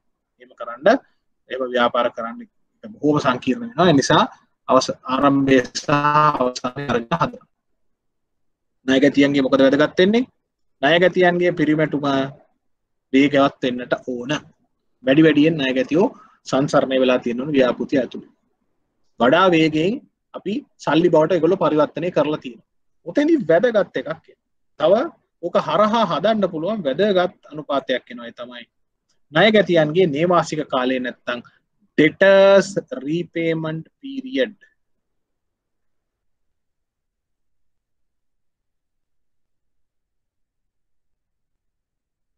ඩෙටර්ස් රීපේමන්ට් කොච්චර කල් ගන්නවාද කියන එක හදල බලන්න. අපි අවුරුද්ධකට ණය ගැතියන් හත්වතාවක් කරකවල තියෙන ගන්නවා විකුණනවා ගන්නවා විකුණනවා විකුණනවා මුදල් ගන්න විකුණනවා මුදල් ගන්න හොම ගිහින්තිය වස හත්වතාවක් අටවතාවක් දහවතාවක් කරා කියලා හිතුවොත් එහෙම කරනවා නම් අපි කොච්චර කාලයක් ඇතුළත සල්ලි ටික අපිට අරගෙන තියෙනවාද කියනක හොයන්න පුළුවන් හේතුව අපි එහෙම හදන්නේ නිශ්චිත වර්ෂයකට ඒ වර්ෂය ඇතුළේ අපි අවස්ථා ගාන වැඩි කරන්න වැඩි කරන්න කාලය කෙටි වෙනවා. අපි එක අවුරුද්දක් ඇතුළත ණය ගැතියෝන්ගේ පිරිවැටුම තියෙන්නේ දෙවතාවයි නම් දෙවරනම් ඒ කියන්නේ අපි එක සැරයක් විකුණලා සල්ලි අරගෙන තව සැරයක් විකුණලා තියෙනවා එච්චරයි කරලා. සල්ලි අරගෙන නැහැ.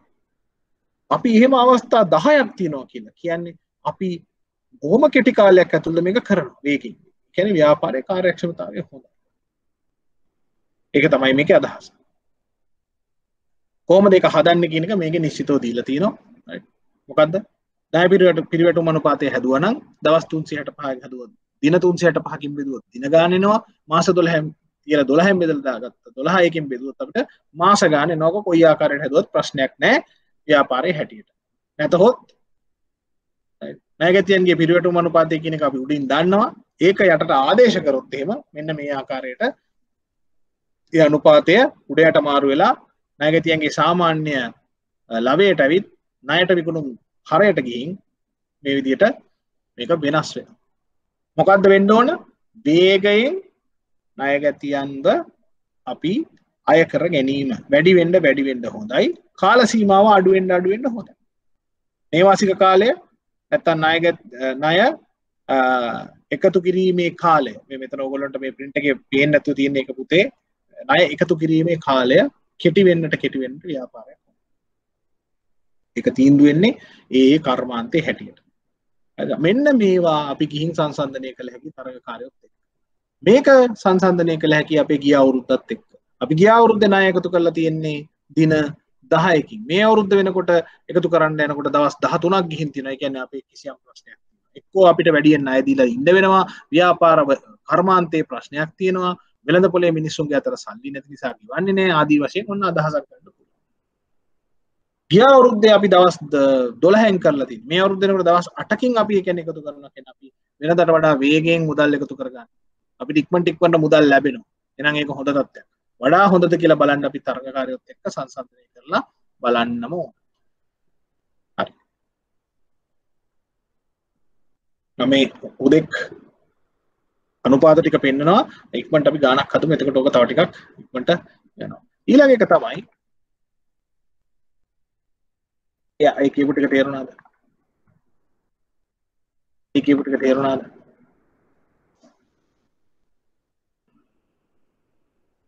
අනිත් දරුවෝ පන්තියේ මොකද ඉන්නවද? හ්ම්. කෝ අපි අනිත් දරුවෝ ටික. වෙනදා සහභාගී වෙන අය ඉන්නවද?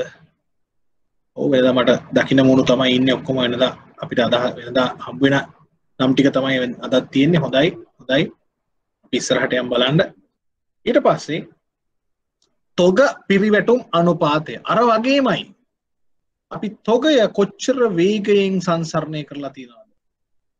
තොග පිරිවැටුම අවුරුද්දකට තොග ගන්න අරගෙන මුදල් විකුණලා මුදල් කරලා නැවත තොග අරගෙන නැවත මුදල් කරලා එහෙම චක්‍රයක් කරලා තියෙනවා. කී වතාවක් කරලා විකුණු භාණ්ඩවල පිරිවැය තොගයේ සාමාන්‍යයෙන් බෙදෙනවා. තොගයේ සාමාන්‍ය කියන්නේ මොකද්ද? ආරම්භක තොගයේ බෙදීම එකතු කිරීම අවසාන තොගය අඩු වැඩි බෙදීම දෙක. ඒක පැහැදිලි. වැඩි වැඩියෙන් තොග වේගයෙන් අරගෙන තොගය ගන්නවා විකුණනවා ණය ගැතියෝ වෙනවා ආය නැවතෙනවා මේක වේගෙන් ණය තොග මුදල් බවට පරිවර්තනය වෙලා තියෙනවා. තොග තොග විකුණුම් බවට පරිවර්තනය වෙනවා. විකුණුම් බවට පරිවර්තනය මේකේ මොකද්ද? තොග නේවාසික කාලය කියලා කියන්නේ. අපි තොගය කොපමණ කාලයක් ව්‍යාපෘතිය තුළ තියාගෙන ඉන්නවා? කෙටි කාලයකින් ඉක්මනට තොග විකුණන්න පුළුවන් නම් අපි ව්‍යාපාරය වේගෙන් පවත්වාගෙන යනවා. අපේ තොගයක් ගෙනල්ලා විකුණන්න ක්‍රමාන්ත වෙනවා කියලා කියන්නේ අපි නිකන් මුදල් හිර කරගෙන ඉන්නවා තොගේ. මේක නිසා තොග නේවාසික කාලයේද අඩුවීම ඊටාම හොඳයි. ඒකත් අර වගේම හදන්න පුළුවන්. මම මේක පොඩ්ඩක් වේගවත් කරනවා යන්න. අපි එතන ඉඳලම යන් ණය හිමියන්ගේ පිරිවැටුම් අනුපාතයට. දැන් ණය හිමියන් කියන්නේ අපි ගෙවන්ඩ තියෙන අය. අපි බහන්්ඩ සපය ගත්ත අපි දැන් ගෙවන්ඩ ඉන්න ණය හිමියන් ඉක්මනින් ඉක්මනින් ගෙවන එකද හොඳ? ඒක ගෙවන්ඩ වැඩි දැන් එක නේවාසික කාලය ගත්තොත් වැඩි කාලයක් ගෙවන්ඩ ගන්න එකද හොඳ? පට කිය ණය හිමියෝ අපේ ක්‍රඩිටස්ල අපි බඩ් බහන්්ඩ හා සේවා සපයා ගත්තා අපිට සැපයුම් කලාය අපිට සැපයුම් කරන ලද අය. මේ අයට ගෙවන්ඩ කෙටි කාලයකින් ගෙවීමද හොඳ ගෙවන්ට වැඩිපුර කල් ගන්න එකද හොඳ. වැඩි කාලයක් කියලා කියනවා. අනිත් වෙන මොනහරි අදහස් තියෙනවා. ලෝංග පීරියඩ් ඉස් බෙස්ට් කියලා පුතෙක් තව පුතෙක් කියනවා. තව උදහස් තියෙනවා. අපි ණයට බඩු ගත්තා. අපි මම තමයි ව්‍යාපාරිකය. මම මගේ සැපයුම් ටික ණයට සපය ගත්තා. දැන් මට ගෙවන්න දුන්න කාලය මට දුන්න කාලය වැඩි. වැඩි කරගන්න එක හොඳයි. මොකද මට මුදල් එලියට යන්නේ නෑ. කාරක ප්‍රාග්ධනය පැත්තෙන් ගත්තොත් ඉතා හොඳයි. මම මගේ මට අවශ්‍ය කරන අමුද්‍රව්‍ය සපයගන තියෙනවා. ඒක ගෙවන්නම වැඩියෙන් කාලය ගන්න. එහෙම ගන්න අතරේ මම මොකද කරන්නේ? අර කාගින්ස්ලා කරපු වැඩේ. මම මොකද කරන්නේ?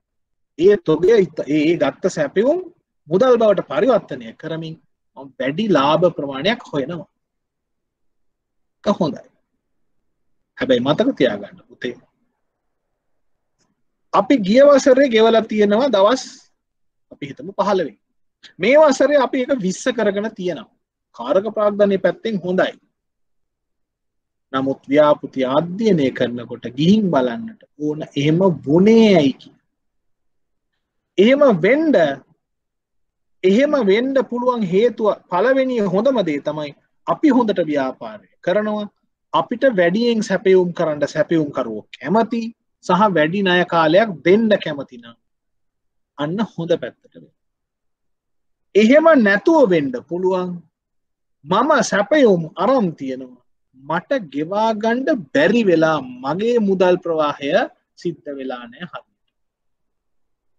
එහෙමනම් එක ගැටම එනිසා මේ ණය ගැතියන් තොග සහ ණය හිමියන් කියන තුනම එකිනෙක තඟ තියලා හරියට බලන්න ඕන ව්‍යාපාරය කොහොමද ක්‍රියාත්මක වුණේ ටිකක් තව ඉදිරියට දරුවෝ ඉගෙන ගන්නවා නම් ඔගොල්ලෝ දැන් ණය කර්ම ණය දීම සම්බන්ධයෙන් ණය ඇගීම සම්බන්ධයෙන් හොඳට ඉගෙනගෙන තව ණය නිලධාරියෙක් බවට පත් වෙනකොට ණය නිලධාරියෙක් විදිහට කටයුතු කරනකොට ඔන්න හොයන්න කාරණාවක් ඔළුවට දාගන්න ණය හිමියන්ට ගෙවන කාලය දීර්ඝවීම සාමාන්‍ය තත්ත්වයට තේදී හොඳයි මොකද අපිට වැඩි කාලයක් ලැබෙනවා ව්‍යාපාරයට නමුත් එසේ වීමට බලපාන ලද හේතුව මුදල් ප්‍රවාහවලදී අවබෝධ වෙනවනං මුදල් ව්‍යාපාරයට නොලැබෙන හේතුව නිසා කල් ගත වෙලා කියලා අන්න වරදක් තිය. ඊට පස්සේ ව්‍යාපෘති අධ්‍යයනයේදී ඊට පස්සේ ණය ගන්න කෙනෙක් ආවහම එයාගේ එහෙම අනුපාත බලලා හොඳයි කියලා කියනවා. වගේම එහෙම හොඳ වෙනවා තමයි නමුත් ඒකට බලපාන ලද හේතුව ඇත්තටම ව්‍යාපාරයේ සාර්ථකත්වයද නොයසේ නම් වෙනත් කරුණක් නිසා ගෙවීමට නොහැකි වෙලාද කියන එක සොයා බලන්න ඕන. හරිද? හරිද? දැන් මම මේ මේ අනුපාතටික පෙන්න්න අනුපාතික පෙන්න්නව වනාට මම පුංචි ගානක් හදමු අපි. එතකොට මට මේක ලේසි අපි ගාන එතන ගිහිල බලමු. මේ ගාන එපා. මෙන්න මේ ගාන බලන්න. ගාන පේනවද පුතේ? සීමිත එක් සමාගමේ දෙදස් දහතුන දාහතර වර්ෂය තොරතුරු පහත දැක්වේ. නයට විකුණුම් ලක්ෂ තුනයි. මේ අහවල් දවසේදී නාය ගැතියන් මේ පමණයි. හරියටම ඊට වසරකට පසු නැත්තම ඒ ගිනුම් වර්ෂය අවසාන වෙන්න දවසේ මෙන්න මෙච්චරයි නායගැති. ණය ගැති පිරිවැටුම් අනුපාතය ගණනය කරන්න කොහොමද හැදුව අපි? ණය ගැතින් පිරිවැටුම් අනුපාතය සමානයි. ණයට විකුණුම් බෙදීම ණයගැතියන්ගේ සාමාන්‍ය අගය. එම්මට ඉක්මනට හදලා උත්තරයක් පෝස්ට් කරන්න චැට් බොක්ස එක. නැවතර මේක කියන්නම්. ණයට විකුණුම් බෙදීම ණයගැතියන්ගේ සාමාන්‍යය. උත්තරයක් කියන්න බලන්න. බලමු අපි බෝඩ් එකේ හදලා බලමු. ණයට විකුණුම් කීයද?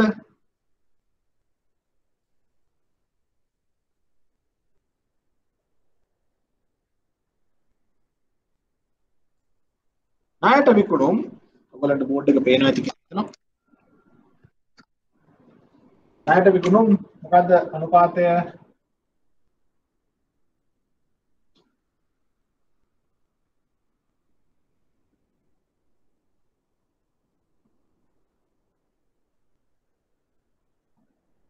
පිළිවෙටුම් අනුපාතය සමානයි.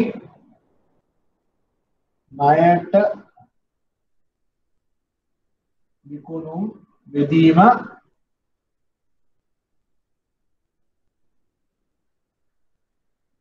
අයගැතියන්ගේ සාමාන්‍ය මොකක්ද මේක ලක්ෂ තුනයි. හරිද?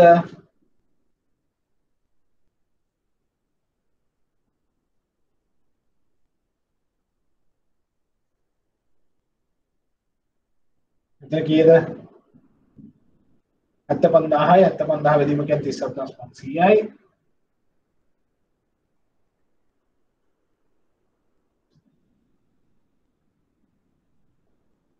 කීයද පුතේ උත්තරේ?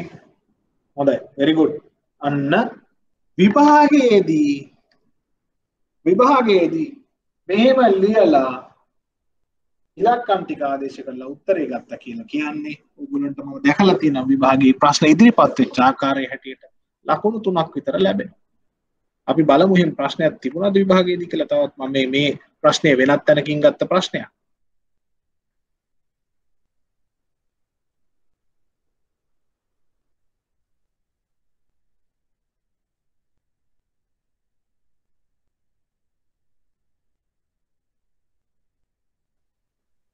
මේ තියෙන්නේ බලන්න. මේ ප්‍රශ්නේ එන්නේ පුතේ 2018 මාර්තු 2018 මාර්තු ප්‍රශ්න පත්‍රයේ ප්‍රශ්නයක් තියෙනවා ප්‍රශ්න අංක දෙකේ හතර මේ ප්‍රශ්නේ හොඳට පේනවද පුතාලට? මේ ප්‍රශ්නේ හොඳට පේනවද කියන්න මම ආයෙ නැවත ස්ක්‍රීන් එකට පෙන්වන්නම්. මේ ප්‍රශ්නේ පේනවද? මේ ප්‍රශ්නේ පේනවද බලන්න පුතේ? පේනවද? රයිට් දැන් මම ප්‍රශ්නය ප්‍රශ්නය ඉදිරිපත් කරනවා ස්ක්‍රීන් එකේ හරිද? තෝග පරිවර්තන කාලය මං ආය රේෂියෝ ටික පෙන්වන්නම් මං ආය පෙන්වන්නම් තෝග ණය ගැතියන් මොනවද ප්‍රශ්නේ අහලා තියෙන්නේ පුතේ? තෝග පරිවර්තන කාලය ණය පරිවර්තන කාලය ලැබිය යුතු ණය පරිවර්තන කාලය. අන්න ප්‍රශ්නේ අහන හැටි. ලැබිය යුතු ණය ගෙවිය යුතු ණය අහලා තියෙන පොඩ්ඩක් විතර උංචි වෙනසක් කරලා තියෙනවා. හැබැයි කිසි ප්‍රශ්නයක් නැහැ ප්‍රශ්න අපිට ඒක කියා ගන්න. හරිද? ඒකේ මෙහෙයුම් චක්‍රයයි අනිත් ප්‍රශ්න දෙකක් පස්සේ උත්තර දෙමු. හරිද? මම ඕන ආපහු පෙන්නන ඕගලන්ට මේ සම්බන්ධ මේ මේ ගානට අදාළ අනුපාත ටික මෙතන තියෙනවා. මොනවද අනුපාත ටික? ණය ගැති පිරිවැටුම් අනුපාතය. ණය නේවාසික කාලය. මේක ප්‍රශ්නය අහලා තිබ්බේ ඒ වගේ. තොග පිරිවැටුම් කාලය. ඊමස ණය හිමියන්ගේ පිරිවැටුම් කාලය හරිද? දැන් බලමු අපි මේ ගාන හදන්න පුළුවන්ද කියලා. උත්සාහ කරලා බලමු. මේ විභාගයේ ප්‍රශ්නයක්. මේ 2018 මාර්තු පුතේ. වැඩි කාලයකට කලින් නෙවෙයි මේ මොකක්ද අහන්නේ? තොග පරිවර්තන කාලය. තොග පරිවර්තන කාලය. තොග පරිවර්තන කාලය හදන්නේ කොහොමද? අපි ආයෙ නැවත අතෙන්ට ගිහිල්ලා බලලෙමු. තොග පිරිවැටුම් අනුපාතය හදාගන්නේ කොහොමද මම බෝඩ් එකේ ලියන්න එතකොට ආයෙ බලාගෙන කරන්න පුළුවන් මේක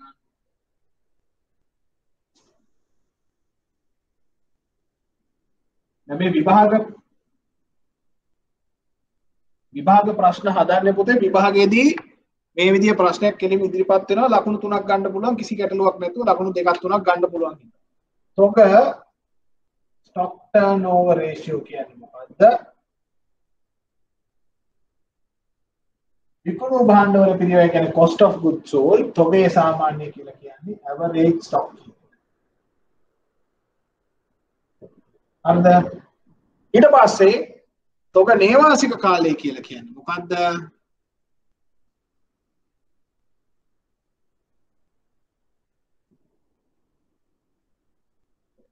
ස්ටොක් රෙසිඩන්ස් පීරියඩ් දින නැත්තම් දින 365 කියලා අපි දින වලින් හදමු බෙදීම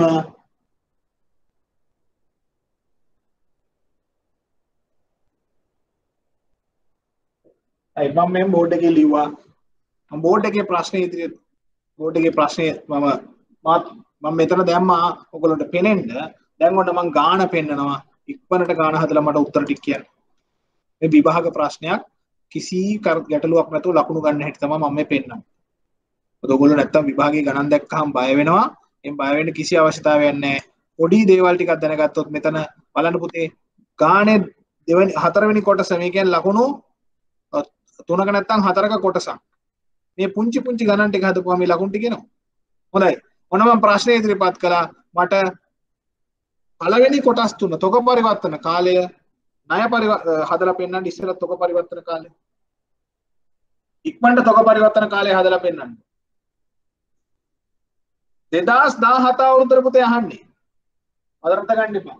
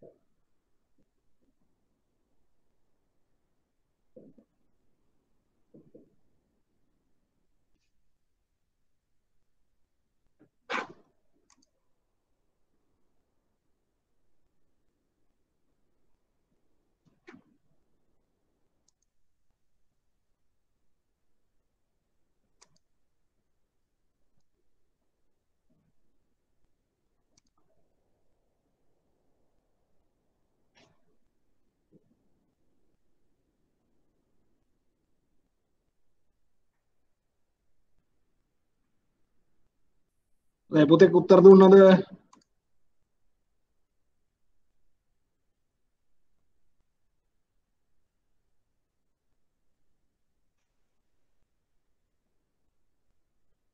හොඳයි.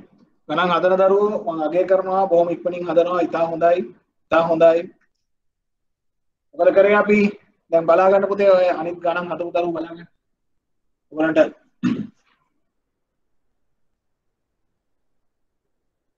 බලාගන්න මේ ගාන හදපෑනි. මොකක්ද ඇහුවේ? තොග පිරිවැටුම් කාල තොග පිරිවැටුම් කාල සීමාව තොග පරිවර්තන කාලය. කොහොමද පාලය හදන්න අපි ඉදිරිපත් වෙන්නේ? ඉස්සෙල්ලා පිරිවැටුම හොයාගන්න. පිරිවැටුම හොයන්නේ කොහොමද? තොග පිරිවැටුම් කාලය සමානයි. විකුණුම් වල පිරිවැය බෙදීම තොගයේ සාමාන්‍ය සාමාන්‍ය තොග මොකද කරේ?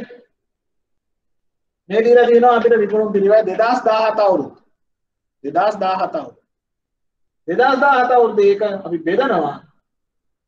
ආරම්භක තොගය අවසාන තොගය. ආරම්භක තොගය කියන්නේ 2016 අවුරුද්දේ අවසන් වෙච්ච තොගය. ඒක තමයි 2017 පටන් ගන්න ඉතින් 2017 අවසාන තොගය දීලා ඒක දෙකෙන් වෙන මොකක්ද උනේ? මෙතන 25.45 මේ තියෙන්නේ 4.75 එකතු කරන 5.2 දෙකයි පහකින් 10 10 බෙදීම දෙක 5යි උත්තරේ පහයි දශම බිඳුවයි නම් ඊට පස්සේ ඒක ආදේශ කරන්න ඕන ගෙනල්ලා මේ සූත්‍රයට නැත්නම් මේ සමීකරණ මොකද්ද? තොග පිරිවැටුම් කාලය තොග පරිවර්තන කාලය සමානයි. දවස් 365 බෙදීම මේ මෙන්න මේ අපි හදපු මෙන්න මේ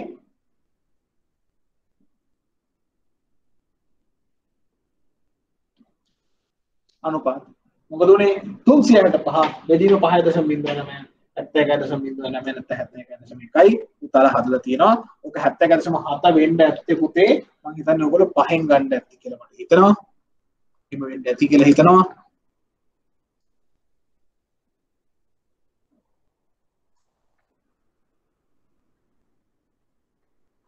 ඇත්තද කියලා හත උනේ කියලා මට හිතා ගන්නවා. හරි.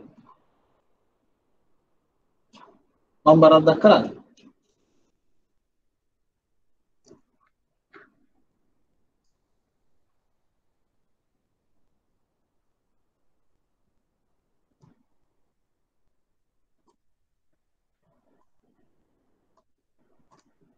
ඔව් 7.7යි.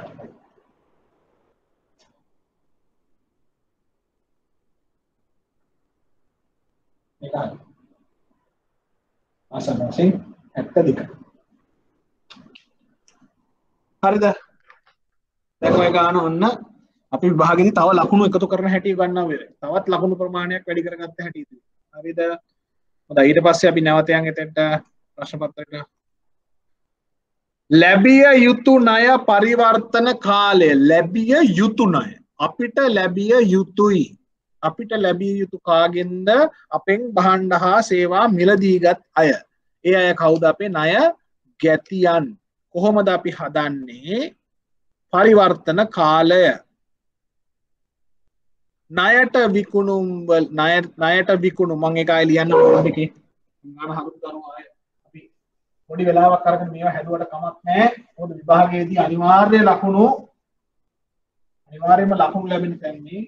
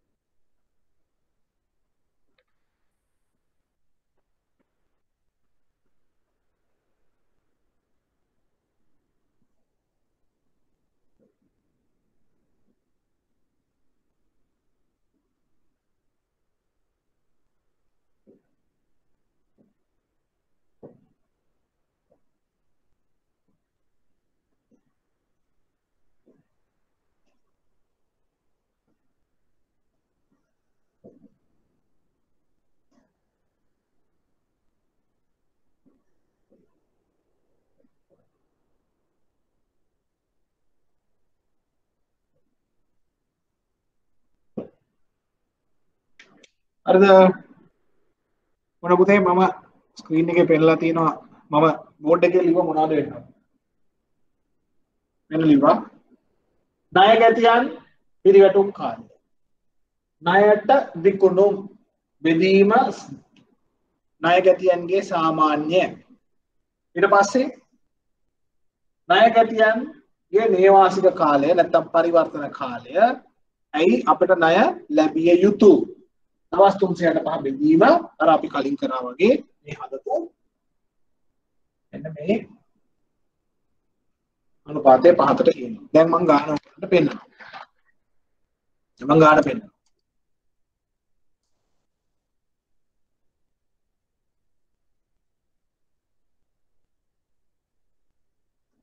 ඔන්න ගාන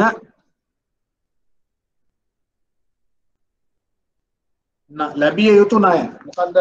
ක්‍රෙඩිට් සේල්ස් ණයට විකුණුම් හදන්න බලන්න පුතේ හදන්න. කොහොමද හදන්න එකතු වෙලා? කොහොමද හදන්න?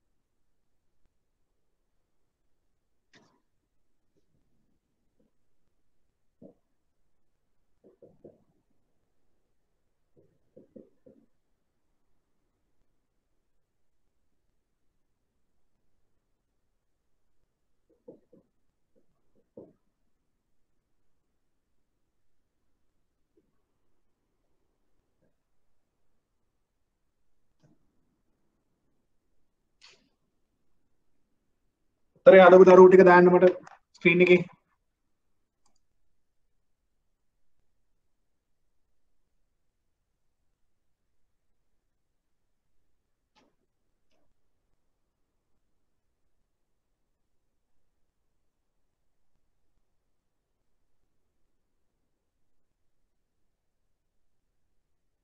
මෙතන විකුණුම් පොතේ සියල්ලම ණයට විකුණුම් ලෙස සලකන්න වෙනවා අපිට වෙන විකුණුම් දීලා නැහැ. ගානේ වෙන විකුණුම් දීලා නැත නිසා සියලුම විකුණුම් ණයට විකුණුම් ලෙස සලකන්න වෙනවා. මේ තියෙන්නේ ආරම්භක ණය ගැතිය අවසාන ණය ගැතියෝ ඒක බෙදීම දෙක යනුව ණය ගැතියන්ගේ පිරිවැටුම් අනුපාතය 6.59 කියන ඒක විරල්ල දවස් 305 විතර ආදේශ කළාම මේ වගේ උත්තරයක් එනවා ආසන්න වශයෙන් 56යි ප්‍රශ්නයක් නැහැ. එක දරු පුතෙක් හදලා තියෙනවා 58යි කියලා මට මොකද්ද උනේ කියලා බලන්න පුතේ උත්තරේ වරදක් වෙන්නේ නැතුව අතින් බලන්න ඒක පොඩ්ඩක් 55.35යි ඒ ළඟපාතර ඇවිල්ලා තිනවා 56යි කියලා කීවනම් බොහෝ දුරට සාර්ථකයි. දැන් මෙතන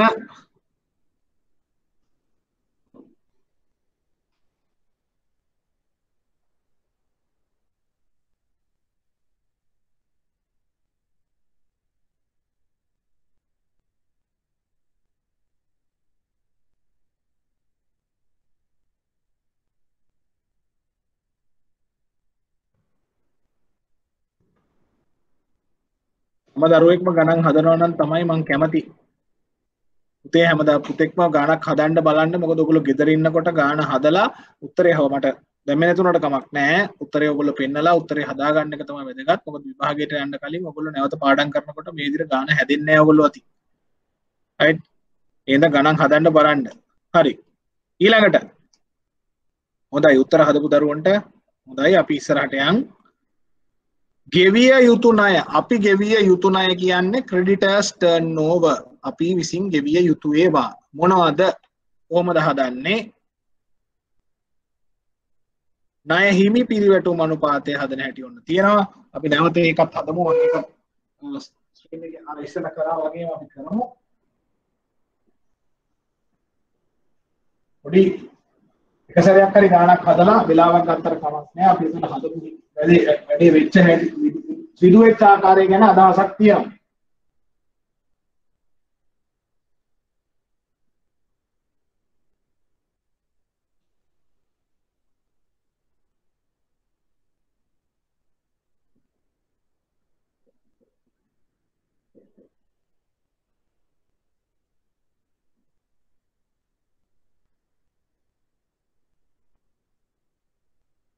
ණයට ගැනුම් ණයට මිලදී ගැනුම්.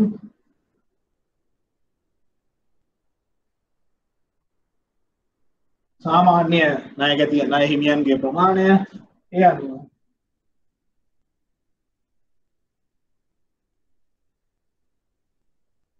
ඔවුන්ට ගෙවන කාල කාලය වෙන්නේ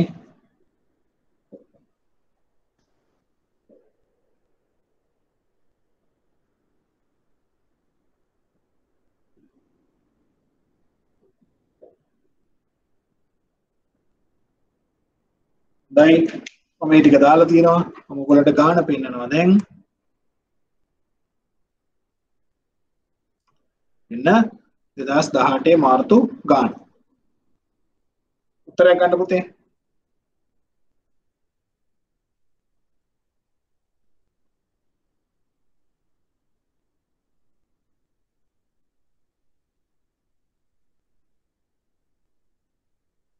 අපිට විකුණුම් දීලා නැහැ.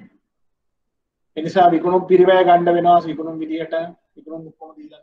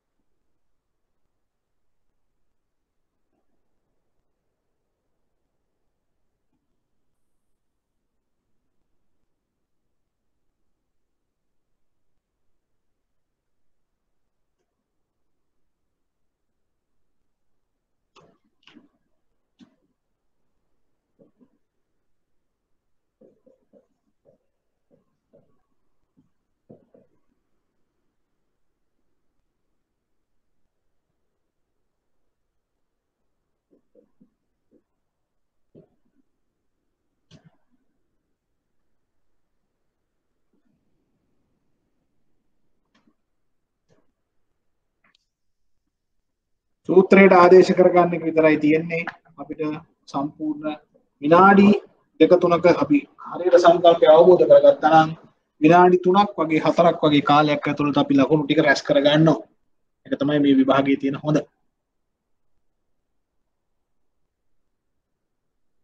උත්තර ටික දාන්න පුතේ හදපු දරුවෝ මම උත්තර ටික බලන්නම්. හොඳයි හොඳයි.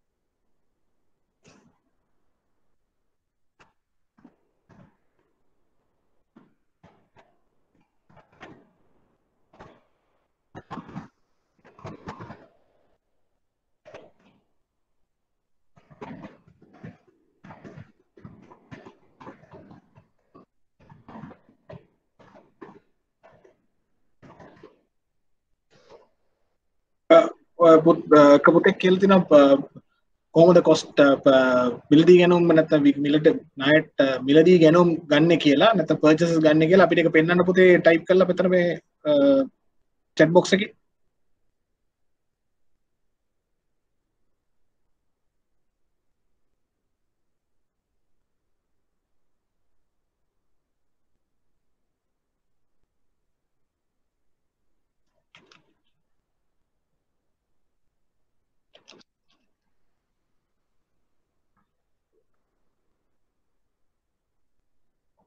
හරි ඒ පුතා එක දානකං අපි ඉදිරියට යන්. පිරිවැටු මනුපාතවල තුනක් ඔන්න කතා කළා. හරිද? මේක උදෙක්ම දැන මේක දැනගෙන ඉදීම විතරක් ප්‍රමාණවත් අපිට විභාගයේදී ලකුණු ගන්න. දැන් ඒ විදිහට තමයි ප්‍රශ්න ඉදිරිපත් වෙලා තියෙන්නේ. ඊට පස්සේ ලාභදායිතා අනුපාත. Profitability ratios. දලලාභය නැත්තම් දලලාභ ආන්තිකය කියලා කියන දලලාභ ආන්තිකය කියලා කියන්නේ gross profit margin කියන එක. නැත්තම් දලලාභ gross profit ratio කියන එක. දලලාභය විකුණුම් වලට කොච්චර අනුපාතයක් දක්වනවද මේකෙන් පෙන්වන්නේ අපේ විකුණුම් කොච්චර ලාභදායී ලෙස අපි කරනවද නැද්ද කියන එතන දලලාභය මෙන්ම ශුද්ධ ලාභය කියන වෙන වෙනම හදන්න පුළුවන්. එතන මොකක්ද උත්සාහ කරන්නේ හොයන්න දලලාභය කියන තැනට එනකොට අපි විකුණුම් වලින් අඩු කරන්නේ විකුණුම් පිරිවැය. විකුණුම් පිරිවැය ඇතුලේ මොකක්ද තියෙන්නේ? ආරම්භක තොගය එකතු කිරීම මිලදී ගැනුම් අඩු කිරීම අවසාන තොගය. එතෙන්දී අපිට පේනවා දල ලාභය දල ලාභ අනුපාතය විකුණුම් වලට සාපේක්ෂව ඉහළ මට්ටමක පවත්වා ගන්නවා නම් ඒකෙන් පෙන්නුම් කරන්නේ සපයුම් නැත්තම් මිලදී ගැනුම්. අපිට අපිට සැපයුම් නැත්තම් අමුද්‍රව්‍ය නැත්තම් මිලදී ගැනුම් අපි ඉතා සාර්ථකව කරනවා කියන එක. දල්ලාභේ වැඩි කරගන්නවා කියලා කියන්නේ විකුණුම් වැඩිවීමෙන් වෙන්නත් පුළුවන්. විකුණුම් වැඩි නොවි විකුණුම් වල පිරිවැය අඩු කර ගැනීමෙන් වෙන්නත් පුළුවන්. ඒ කියන්නේ තරඟකාරී මිලට භාණ්ඩ මිලදී ගත්තම වෙන්නත් පුළුවන්. ඒකයි දලලාභේ වැඩි වෙන්නේ.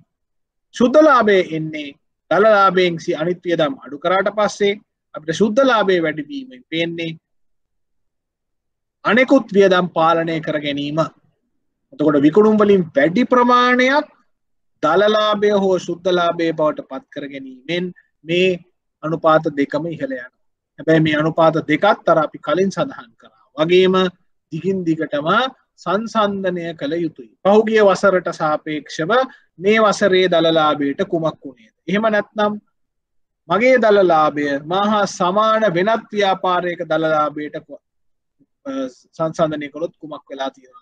කියන සංසන්ධනය කළ යුතු විවිධ ව්‍යාපාරවලට සමහර ව්‍යාපාරවල විවිධ ව්‍යාපාරවල එහෙම දලලාභය පිළිබඳව වෙළඳ පොලත්ත කර්මාන්තයේ සාමාන්‍ය අගයන් තිබෙනවා.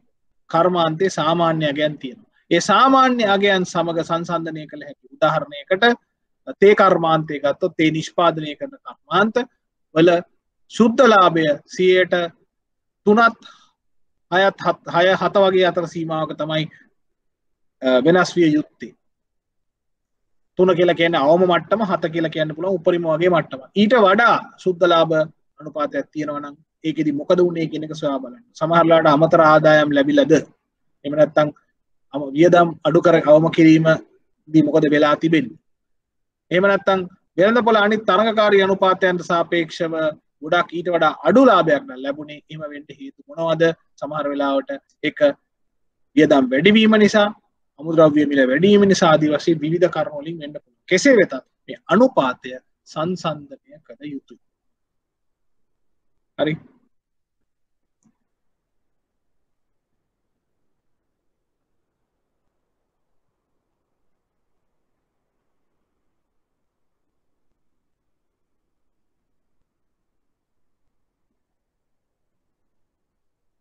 හොඳයි පුතේ හරි තාම හොඳයි තාම හොඳයි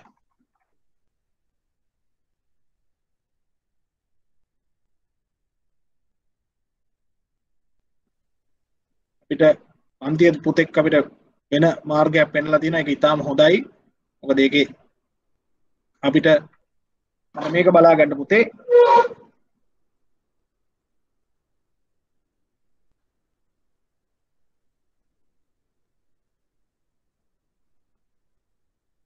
අපිට විකුණුම් පිරිවැය දීලා තිබෙනවා.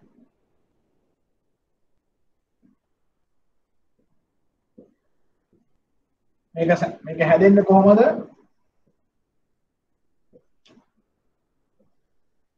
ආරම්භක තොගය එකතු කිරීම.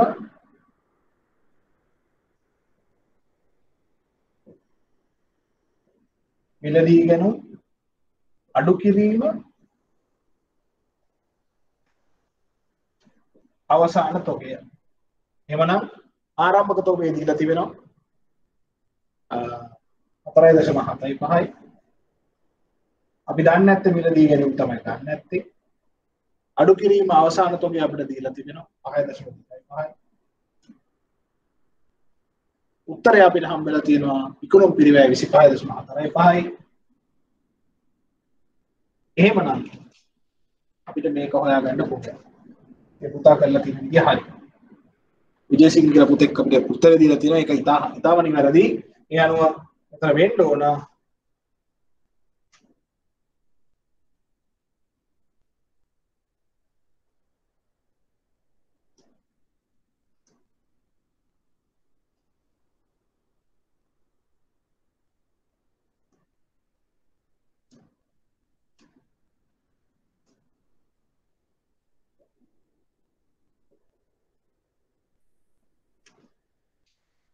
මිලදී ඉස්සර ඉස්සලා අපි හදපු ගානේ මිලදී ගැන 25.95ක් වෙන්න ඕන. මං හරි නේද? ඒ රයිට්. ඉතා හොඳයි. ඉතා හොඳයි. රයිට්. අපිට අවබෝධය තව ටිකක් වර්ධනය කරගත්තා අපි. මම සාකච්ඡා කරමින් හිටපු තැනට යනවා. ලාභදායිතා අනුපාතය. මේක ඉතාමත්ම ලේසියෙන් හදන්න පුළුවන් එකක්. ඒක ලොකු එකක් නෑ. මම මේ උදාහරණයක් පෙන්වන්නම්. කෙටි උදාහරණයක්. ටක්ගාල මේක දල්ලාභ අනුපාතය කියන්න මට. මේ ගානේ දල්ලාභ අනුපාතය ඉක්මනට හදලා පෙන්වන්න. විකුණුම් දීලා තියෙනවා දල ලාභය දීලා තියෙනවා බදු පසු ශුද්ධ ලාභයක් දීලා තියෙනවා දෙකම හදන්න දල ලාභ අනුපාතය ශුද්ධ ලාභ අනුපාතය දෙකම ඉක්මනට හදන්න ඉක්මනට හදන්න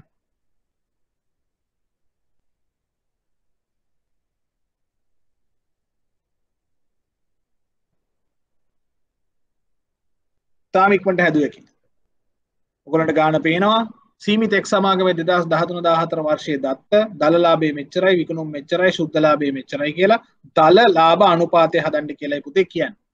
අපි දල ලාභ අනුපාතයත් හදමු ශුද්ධ ලාභ අනුපාතයත් හදමු. මොකද කරන්නේ? දල ලාභ අනුපාතය කියලා කියන්නේ දල ලාභය බෙදීම විකුණුම් වැඩි කිරීම 100ට 100. ශුද්ධ ලාභයත් ඒ වගේම ශුද්ධ ලාභයේ බෙදීම විකුණුම් වැඩි කිරීම 100ට 100. මම හිතන්නේ ඉතාව ඉක්මනින් හදාගන්න පුළුවන් එකක් මම කීවේ. සියයට දහයයි සියට ඔව්. දලලා බනුපාතය සියයට විස්සයි සුද්දලා බනුපාතය සියයට දහය බොහොමොඳ රයි හරි. අන්නේ පබි විභාගේ වෙනත් ගානක් දල්ලා බනුපාතයට තිබුණ නැහැ මට මතක හැටියට.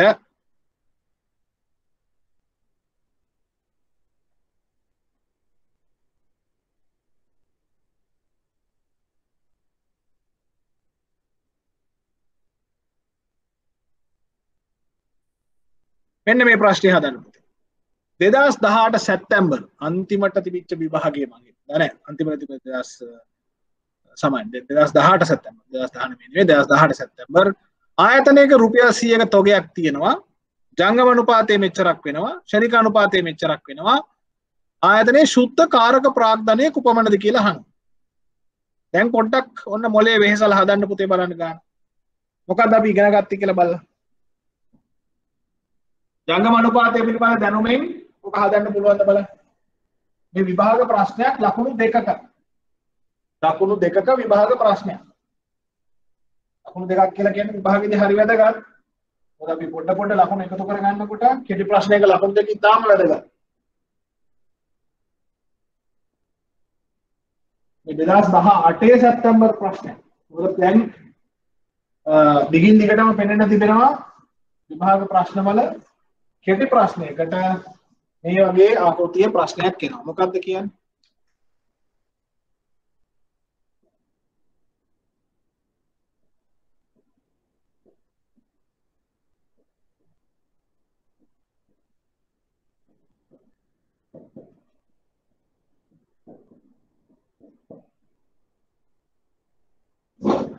ජංගමවත්කම් අඩු කිරීම ජංගමවත්කම් කාරක ප්‍රාග්ධනය වෙනවා. මේ දෙක අතර අනුපාතය කීයද? 1ට 2යි. ශරික අනුපාතය 1ට 1යි. ඒ කියන්නේ ජංගම වත්කම් අපි x කියලා මොකක් හරි පදයක් ගත්තා. ඒකෙන් මේක අඩු කරාම තොගය හරි ඒක සමාන වෙනවා ජංගම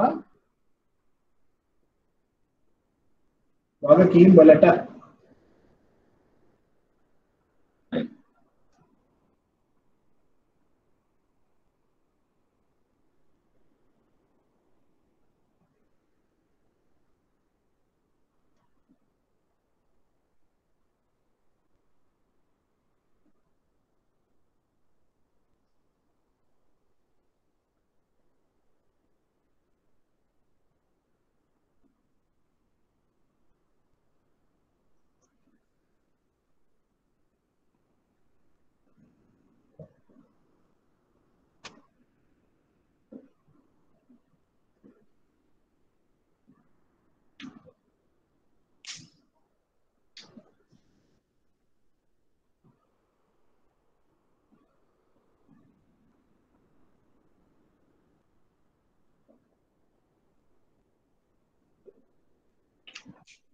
කියද පුතේ ගන්න උත්තරේ.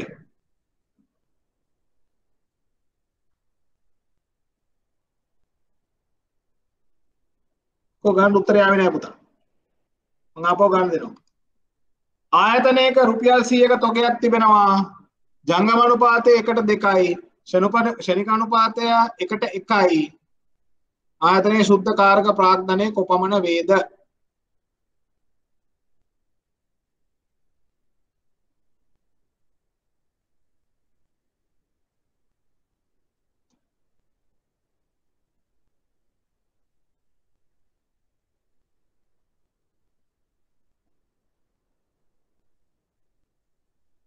කෝපතේ ගණ හදන්න බලන්න ගණ හදන්න බලන්න. ගණ හදන්න බලන්න තමන් තව විනාඩි දෙකක් දෙන්නම් ගණ හදන්න ඉක්මනට. මොකක්ද දැනවත් දැන අපි දැනගන්න ඕන මොකක්ද ජංගම වත්කම් අඩු කිරීම ජංගම වක්කීම සමාන වෙනවා කාරක ප්‍රාග්ධනයට. කරන්ට ඇසට් අඩු කිරීම කරන්ට ලයිබිලිටි සමානයි වර්කින් කැපිටල් ඒක දන්නවා. එතකොට ක්ෂණික අනුපාතය එකට එකයි කියලා කියන්නේ ජංගම වත්කම් වලින් 100ක් අඩු කළාම ලැබෙන අගය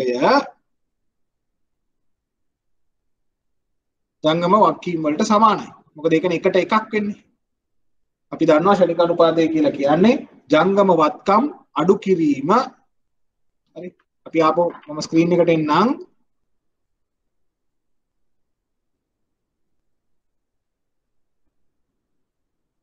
ස්ක්‍රීන් එකට එනවා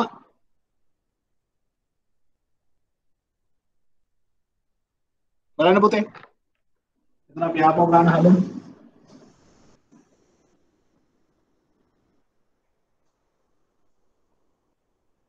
මොකද්ද කියන්නේ?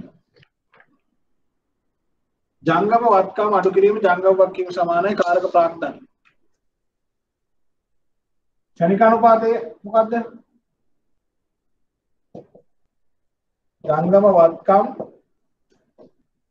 එදීම ජංගම වගකීම් මේක හැටියට උත්තරේ එකයි. ඒ කියන්නේ එකට එකයි. මේ දෙක සමානයි.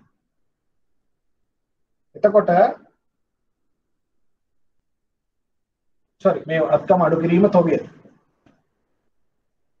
මේ දෙක සමානයි. ජංගම වත්කම් වල ආගේ අපි හිතමු x කියලා. ඒ කියන්නේ 100ක් අඩු කරනවා. එතකොට ඒක සමාන වෙනවා ජංගම වගකීම් වලට. හරිද? හරිද? ජංගම වත්කම් වලින් රුපියල් 100ක් අඩු කරාම එන අගය ජංගම වගකීම් වලට සමානයි. එතකොට අපි ජංගම වගකීම් කියන එකට ජංගම වගකීම් x සමානයි. c අඩු කිරීම 100යි ජංගම වත්කම් කියන්නේ මොකද්ද? X. අඩු කිරීම ජංගම වක්කීම් කියන්නේ මොකද්ද? X අඩු කිරීම 100 සමානයි කාරක ප්‍රාග්ධනය.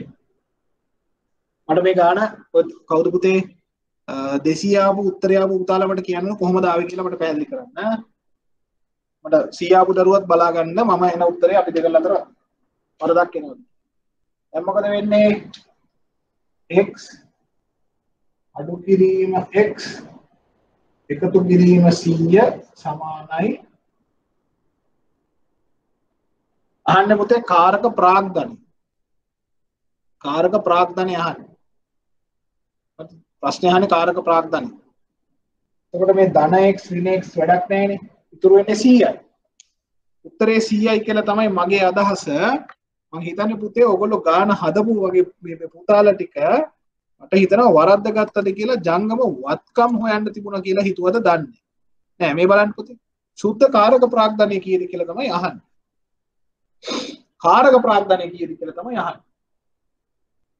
හරිද?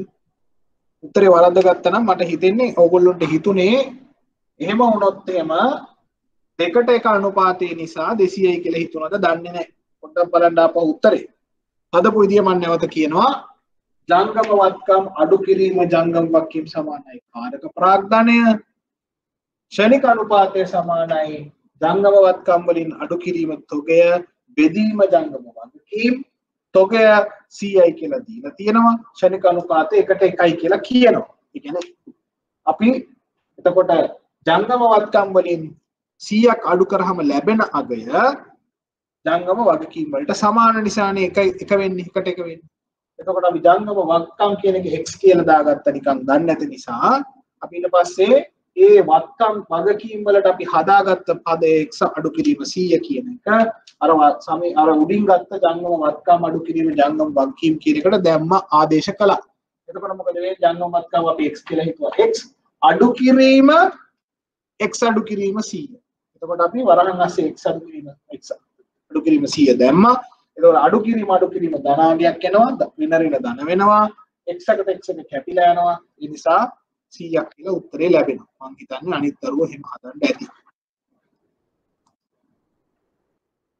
හරි අන්න බලන්න විභාගයේ ලකුණු දෙකක් ගත්ත තව ප්‍රශ්නයක් මහ වෙලාවක් යන ටිකක් නෙවෙයි අපිට පොඩි අවබෝධයක් වුණු මොකද්ද මේ මොනවද මේ පුංචි පුංචි අනුපාත කියන එක. මේ අනුපාත වලින් විභාගයේ ලකුණු දෙකක් නැත්තම් පොඩි ගාණක් ලැබෙන්න තිබිච්ච අවස්ථාව දැන් ක්‍රමයෙන් වැඩි වෙලා දැන් ඒක ප්‍රශ්න ගණනාවක් දක්වා ගිහින් තියෙනවා.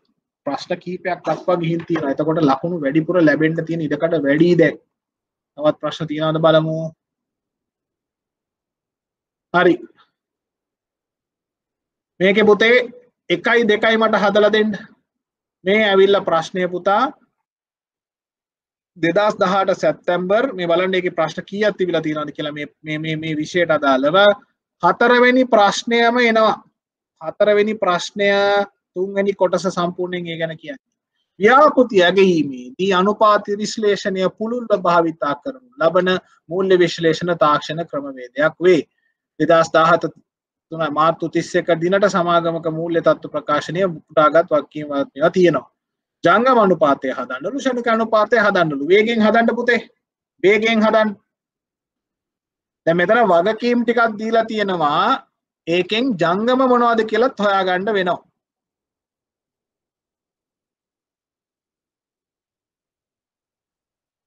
බලන්න ඉක්මනට හදන්න. ජංගම අනුපාතය. මොනවද current assets?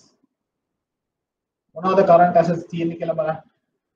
කොටස් ප්‍රාග්ධනය නෑ. එක ජංගම එකක් නෙමෙයි. ආසෝරි සමායන ඉඩම් හා ගොඩනැගිලි වත්කමක් නෙවෙයි ඒක ජංගමවත්කමක් නෙවෙයි ඒක ස්ථාවර එකක්. යන්ත්‍ර සූත්‍ර හා උපකරණ ස්ථාවර එකක්. තොගය අන්න එනවා.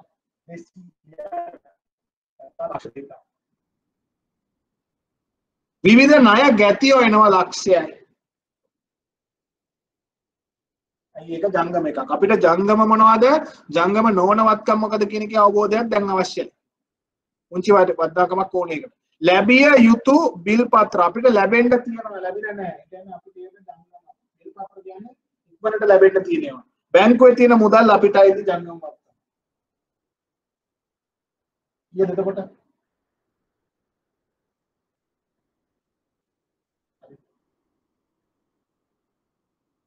ඊට පස්සේ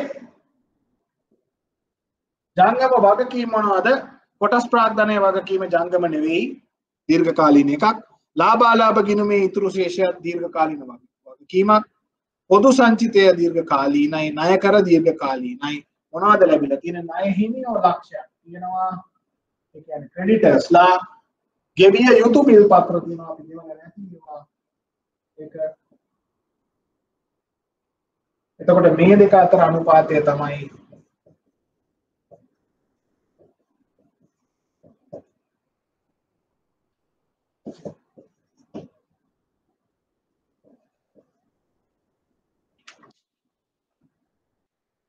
කො බලන්න පුතේ. උත්තර දීපු තව තාම හොඳයි තාම හොඳයි. වේගෙන් හදන්න අනිත් අනුදරුව ටික ඉක්මනට හදන්න. ක්ෂණික අනුපාතය එතකොට අපිට අපි තෝග කීයද කියලා දන්නවා. තෝගය 200යි කියලා තියෙනවා 200ක් අයින් කරලා දාපුවාම 150ක් වෙනවා. එතකොට ක්ෂණික අනුපාතය එකයි. විභාගයේදී තාම ලේසියෙන් ලකුණු දෙයක් ගන්න පුළුවන්. මම දැක්ක පුතා උත්තරේ හදලා තියෙන දරුවෝ ඉන්නවා. මම මේ බෝඩ් එකේ වේගෙන් හැදුවේ පෙන්වන්න උත්සාහ කරේ අපිට අවබෝධයක් තියෙන්න ඕනේ. වත්කම් හා වගකීම් වල ජංගම වෙන්නේ මොනවද? ඒ කියන්නේ ඉක්මනට මේ වසර තුලදීම මේ කාල සීමාව තුලදීම අපිට වත්කම් ලෙස සලකන්න පුළුවන් මොනවද කියලා අවබෝධයක් තියෙන්න ඕන. සහ අනිත් පැත්තට අනිත් වගකීම් ගැනත් අවබෝධයක් තියෙන්ට ඕන. ඒක මේ දීලා තියෙන ශේෂපත්‍රය නැත්තම් මූල්‍ය තත්ත්ව ප්‍රකාශනයේ ෆයිනෑන්ෂල් පොසිෂන් කියන එක දැන් කියන්නේ අපි බැලන්ස් ෂීට් කියලා කියන්නේ නෑ දැන්. ඒ කියන්නේ මූල්‍ය තත්ත්ව ප්‍රකාශනය කියලා. ඒකෙන් අපිට තොරතුරු කහ ගන්න පුළුවන් වෙනවා. බලමු උත්තරේ හදපු දරුවෝ ඉන්නවද? පුතේ ෂණික අනුපාතයත් හදන්න. ෂණික අනුපාතයත් හදන්න. මං ආයෙ නැවත ගාන පෙන්වන්නම් ගාන හදපු පුතාලා ටික ඉක්මනට ෂණික ෂණික අනුපාතයත් හදන්න. රයිට් ඉතා හොඳයි. ඉතාම හොඳයි. ඉතාම හොඳයි. ඉතා වේගෙන් ගාන හදලා තිබ්බා. විභාගයේදී අවශ්‍ය වෙන්නේ පුතේ ඔය දැනුම ටික විතරයි. දැන් පේනවාද ඔයගොල්ලන්ට? ඒ දැනුම ප්‍රමාණය තියෙනවා නම් විභාගයේදී අති ඉතා ඉක්මනින් ඉතා ලේසියෙන් ලකුණු ටිකක් රැස් කරගන්න පුළුවන්. මේ ප්‍රශ්නයට ලැබෙන ලකුණු ප්‍රමාණය මම මේ නැවත ප්‍රශ්න පත්‍රය පෙන්වන්නම් මේ 2018 සැප්තැම්බර් ප්‍රශ්න පත්‍රය ගත්තොත් ලකුණු දෙකක් මෙතන ලකුණු සම්පූර්ණ ලකුණු ප්‍රමාණයක් ඒ කියන්නේ මුළු ප්‍රශ්නයක්. ඊට පස්සේ තවත් මේකේ ප්‍රශ්නයක කොටසක් ඒ කියන්නේ පුතේ අඩුම ගණනේ අඩුම ගණනේ. විභාගයට ලකුණු 20කට 20 24ක් විතර ගන්න පුළුවන්. 25ක් විතර ගන්න අවස්ථා එකම එක පුංචි විෂයක් පිළිබඳ අවබෝධයක් තිබීම. එකම එකක් ගැන අවබෝධයක් තිබීම. අපි ඉතුරු ඒවා සාකච්ඡා කරනවා. හරි? මම පෙන්වන්න යන්නේ ඔයගොල්ලන්ට මේ තරම් ප්‍රශ්න ප්‍රමාණයක් අපිට අවබෝධ කරගන්නට පුළුවන්. අපිට උත්තර දීපු දරුවන්ට හොඳයි. අගේ කරනවා උත්තර හදන්න උත්සාහ කිරීම සම්බන්ධයෙන්. මම නැවත යනවා ටියුට් එකේ අපි කතා කරමින් හිටපු තැනට. ලාභදායිතා අනුපාතය. ඊට පස්සේ වත්කම් පිරිවැටුම් අනුපාතය. විකුණු මුළු වත්කම් වලින් විකුණු විකුණුම් වලට දක්වන අනුපාතය. ඒ කියන්නේ වත්කම් කොච්චර වේගයෙන් විකුණුම් බවට පරිවර්තනය කරලා තියෙනවද කියන එක අපි මේක ගන්නේ sales to uh, assets ratio right? මේක අපේ තියෙන වත්කම් පාවිත කරමින් කොච්චර විකුණුම් කරනවාද කියන එක ගැන අදහසක් ගන්න තමයි ලාභදායීත්වය පිළිබඳ තවත් එක පැත්තක් විතරයි. තවම මේ වගේ පැත්තක් අපේ විභාගයේදී ඕගොල්ලන්ව පරීක්ෂණයට ලක් කරලා නැහැ. මොකද තව පොඩ්ඩක් පියවරක් ඉස්සරහට යන කාරණාවක් නිසා. නමුත් දැනගන්න ඕන නිසා මම මේ ටියුට් එකට එක එකතු කරා ඊට පස්සේ වැදගත් වෙන අනුපාත කීපයක් පිළිබඳ එතනින් පස්සේ අපි සාකච්ඡා කරන්න තියෙන එකේ පළවෙනි එක තමයි මුළු වත්කම් වලට ලාභ අනුපාතය. මුළු වත්කම්. ඒ කියන්නේ මුළු වත්කම් වලට සාපේක්ෂව ලාභයට කුමක් වීද කියලා හොයනවා. මුළු වත්කම් මූල්‍යනය කිරීමේදී මුළු වත්කම් ප්‍රමාණය ණය ප්‍රාග්ධනයේදී යොදා ගන්නා නිසා ණය සඳහා ගෙවන පොලිය වියදමක් ලෙස මෙහිදී සලකන්නේ එයින් බදු පෙර සුද්ධ ලාභයට එය එකතු කරනවලු. මේ මේ හදන විදිහ කියන්නේ. මොකද්ද මේකෙන් අහන්නේ පුතා? අපේ වත්කම් වලින් භාවිත කරලා අපි ව්‍යාපාරයක් කරාට පස්සේ ඒකෙන් ව්‍යාපාරයට කොපමණ ලාභයක් රැස් කරලා තියනවද? රිටර්න් නැත්තම් ප්‍රතිලාභ ගෙනත් තියෙනවාද? වත්කම් භාවිත කොට ප්‍රතිලාභ ගෙනවිත් තිබෙනවාද? එහිදී ණය ප්‍රාග්ධනයත් යොදාගන්න නිසා මුළු වත්කම් ටික මූල්‍යනය කරනකොට අපිට බලන්ට වෙනවා. මොකද වත්කම් ටික හදාගෙන තියෙන ණයට අරගෙන. අපි ණය අරගෙන තමයි වත්කම් හදලා තියෙන්නේ. ඒ නිසා වත්කම් වලින් පුළුවන් වෙන්න ඕන පොලියක් ගෙව්වද කියලා බලන්න වෙනවා. ඒ දෙර පොලියත් ඒ වත්කම් භාවිත කරලාම හදාගත්ත ආදායමක් අපි පොලිය විදිහට ගෙවන්නේ. ඒ නිසා පොලිය නැවත එකතු කරනවා සුද්ධ ලාභයට. මොකද එතකොට අපිට පේනවා නැත්තම් ආයතකරුවට හම්බෙන ටික බැංකුවට ගෙව්ව ටික දෙකම එකතු කරපු ටික තමයි ව්‍යාපාරයෙන් හදලා තියෙන්නේ. ඒ හදපු මුළු ප්‍රමාණය කොච්චරද මේ තියෙන වත්කම් ටික පාවිච්චි කරනවා. Return on total assets. නැත්නම් return on assets කියලා කියනවා. ROA මේක අතිශයින් වැදගත් අනුපාතයක්. මොකද ව්‍යාපාරයක මේක වැඩි වෙනවා කියලා කියන්නේ ඉතාම හොඳ තත්ත්වයක්. හේතුව තියෙන වත්කම් වැඩි වැඩියෙන් පාවිච්චි කරනවා ව්‍යාපාරයට ප්‍රතිලාභ නැත්නම් අමතරව මුදල් ජනනය කරන්න. අමතර මුදල් ජනනය. මේ මේ මේ මේ අනුපාතය උදෙක් කුඩා ව්‍යාපාරවල විතරක් නෙමෙයි මහා පරිමාණ ව්‍යාපාරවලත් භාවිත කරනවා. බැංකු වලට ගියත් එහෙම. බැංකුවකත් හදලා බලනවා රිටර්න් ඔන් ඇසට්ස් කීයද කියලා. මුළු වත්කම් වලට ලාභය කොච්චරද මොකද බැංකුවක වත්කම් තිබුණට වැඩක් නෑ. ඒ වත්කම් වලින් ලාභ ජනනය කරන්නේ නැත්තම්. ඒ වත්කම් එතකොට එහෙම තියෙනවා කියලා කියන්නේ ඒ වත්කම් හුදෙක් ලාභ ජනනය නොකරන නිකම්ම නිකන් තේරුමක් නැති වත්කම් වෙනවා. එහෙමනම් ඒ වත්කම් අපි ඉවත් කරන්න ඕන. එහෙම තමයි තීන්දුව කරන්න ව්‍යාපාර. තමන්ගේ වත්කම් ලාභ ජනනය කරන්න නැති ඒවා තියෙනවා නම් ඒවා ඉවත් කළ යුතුයි. ඉවත් කරන්න නැතුව අපරාධ ඒවා තියාගෙන ඉඳීමෙන් ව්‍යාපාරයට සිද්ධ වෙන සමහරවිට වියදමක් විතරක් වෙන්න පුළුවන් නඩත්තු කරන්න. ආදායම් ජනිත කරන්න නැත්තම්. එනිසා සියලු වත්කම් සලකා බැලීමේදී ඒවා කොපමණ ලාභ කොපමණ ප්‍රතිලාභයක් ව්‍යාපෘතියට කියනවාද කියන තමයි සුද්ධ ලාභය. පොලිය එකතු කරන්නේ පොලියත් ව්‍යාපාරයෙන්ම සොයාගත්ත අමතර දෙයක් වන නිසා. බදු පෙර ශුද්ධ ලාබයට මොකද බදුවලට පෙරලාබය බලන්නේ බදු ගෙවන්නත් බදු ගෙවන්නත් ආදායම හොයන්න වත්කම් භාවිතක තකට බදු පෙර ශුද්ධ ලාබයට පොලියත් එකතු ඒටික එකතු කරලා ලැබෙන මුළු ප්‍රමාණය ව්‍යාපාරයෙන් හොයලා තියෙනවා. ඒ හොයලා තියෙන්නේ තියෙනවත්කම් වලින් භාවිත කිරීමෙන් කියන අදහස. අපීලගකට යන්න කලින් අද සාකච්ඡාව ගැන පොඩ්ඩක් කතා කරමු.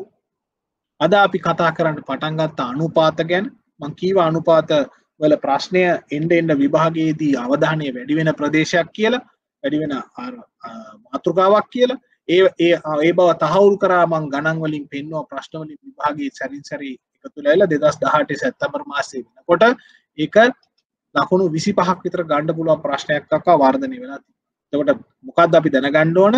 ලාබාලාභ ගිනුම ගැන ශේෂ පත්‍රය ගැන සහ අනුපාත ගැන. දැනගත යුතු අනුපාත ටික මම මේ නිබන්ධනය එකතු කරලා පෙන්නලා තියෙන තව මීට වඩා දෙයක් ඉගෙන ගණ්ඩ උන්නම් අපි තව කතා කරමු විභාග ප්‍රශ්න කරනකොට. හැබැයි අපිට දැන් ගිනුමක තිබෙන ආකෘතිය ගැන පොඩි අවබෝධයක් තියෙනවා. මොකද මීට ඉස්සරහට අපි තවත් ප්‍රශ්න කීපයකට යන්න තියෙනවා. තවත් අපි විවිධ ගණන් වර්ගයකට යන්න තියෙනවා. එතකොට ඒ අවබෝධය ඇතුව තමයි අපිට ඉස්සරහට යන්න දැන් අපි අද හදලා බැලුවා සරල එතරම් විශාල මහන්සියක් නොවී අපිට හොයාගන්න පුළුවන් අපේ දරුවෝ හොඳ සහයෝගයක් දුන්න සහ ගණන් හැදුවා. හරි. විවාදයකට විවාද කරා. ප්‍රශ්න මෙහෙම නෙවෙයි මෙහෙම හදන්න පුළුවන් කියලා.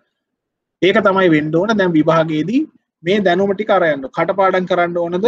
සමහර අනුපාත පොඩ්ඩක් කටේ මතක තියාගන්න වෙනවා. කටපාඩමින් තමයි මතක තියාගන්න වෙන්නේ. නමුත් ගණන් හදන්න හදන්න පුතේ අවබෝධය එනවා.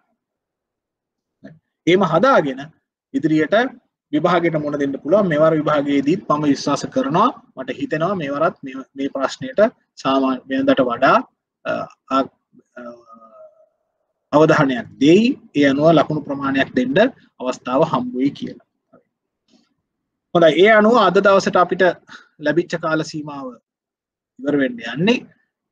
මේ අනුපාත පාඩම අපි ලබන සතියේ තව තවක් අපි සාකච්ඡා කරමු. ඉතුරු ටික සාකච්ඡා කරලා මම ඕගොල්ලන්ට කොහොමත් මේ නිබන්ධනයේ තව ප්‍රශ්න ගොඩාක් ඉඩ දීලා තියෙනවා. ඔයගොල්ලන්ට පුහුණු වෙන්න විභාග ප්‍රශ්න මෙතෙක් තිබිච්ච සියලු මේවා හොයලා හොයලා මම එකතු කරලා දැම්මා.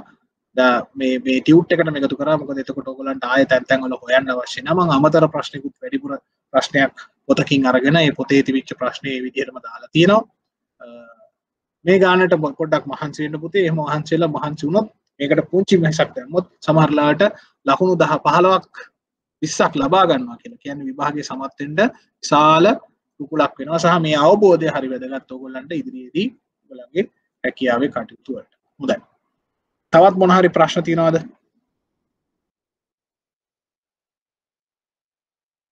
මොන හරි ප්‍රශ්න තියෙනවද පුතා? මොන හරි දැනගත යුතු කාරණාවක් තියෙනවද? හොඳයි. දැන් ටියුට් එක ඔයගොල්ලන්ට ලැබිලා තියෙනවා. ටියුට් එක දිහා බලලා අපි නැවත ලබන සතිය හම්බ වෙමු. ඒ හම්බ වෙලා අපි තවදුරටත් ඉදිරියට සාකච්ඡා කරගෙන යමු. එමනම් හැමෝටම සුබ සතියක්. හැමෝටම මම ටියුට් එක බලාගෙන යන්න. අපි ලබන සතියේත් නැවත හම්බ වෙලා මේ මේ සම්බන්ධයෙන් සාකච්ඡා කරමු. රයිට් හැමෝටම සුබ සතියක්.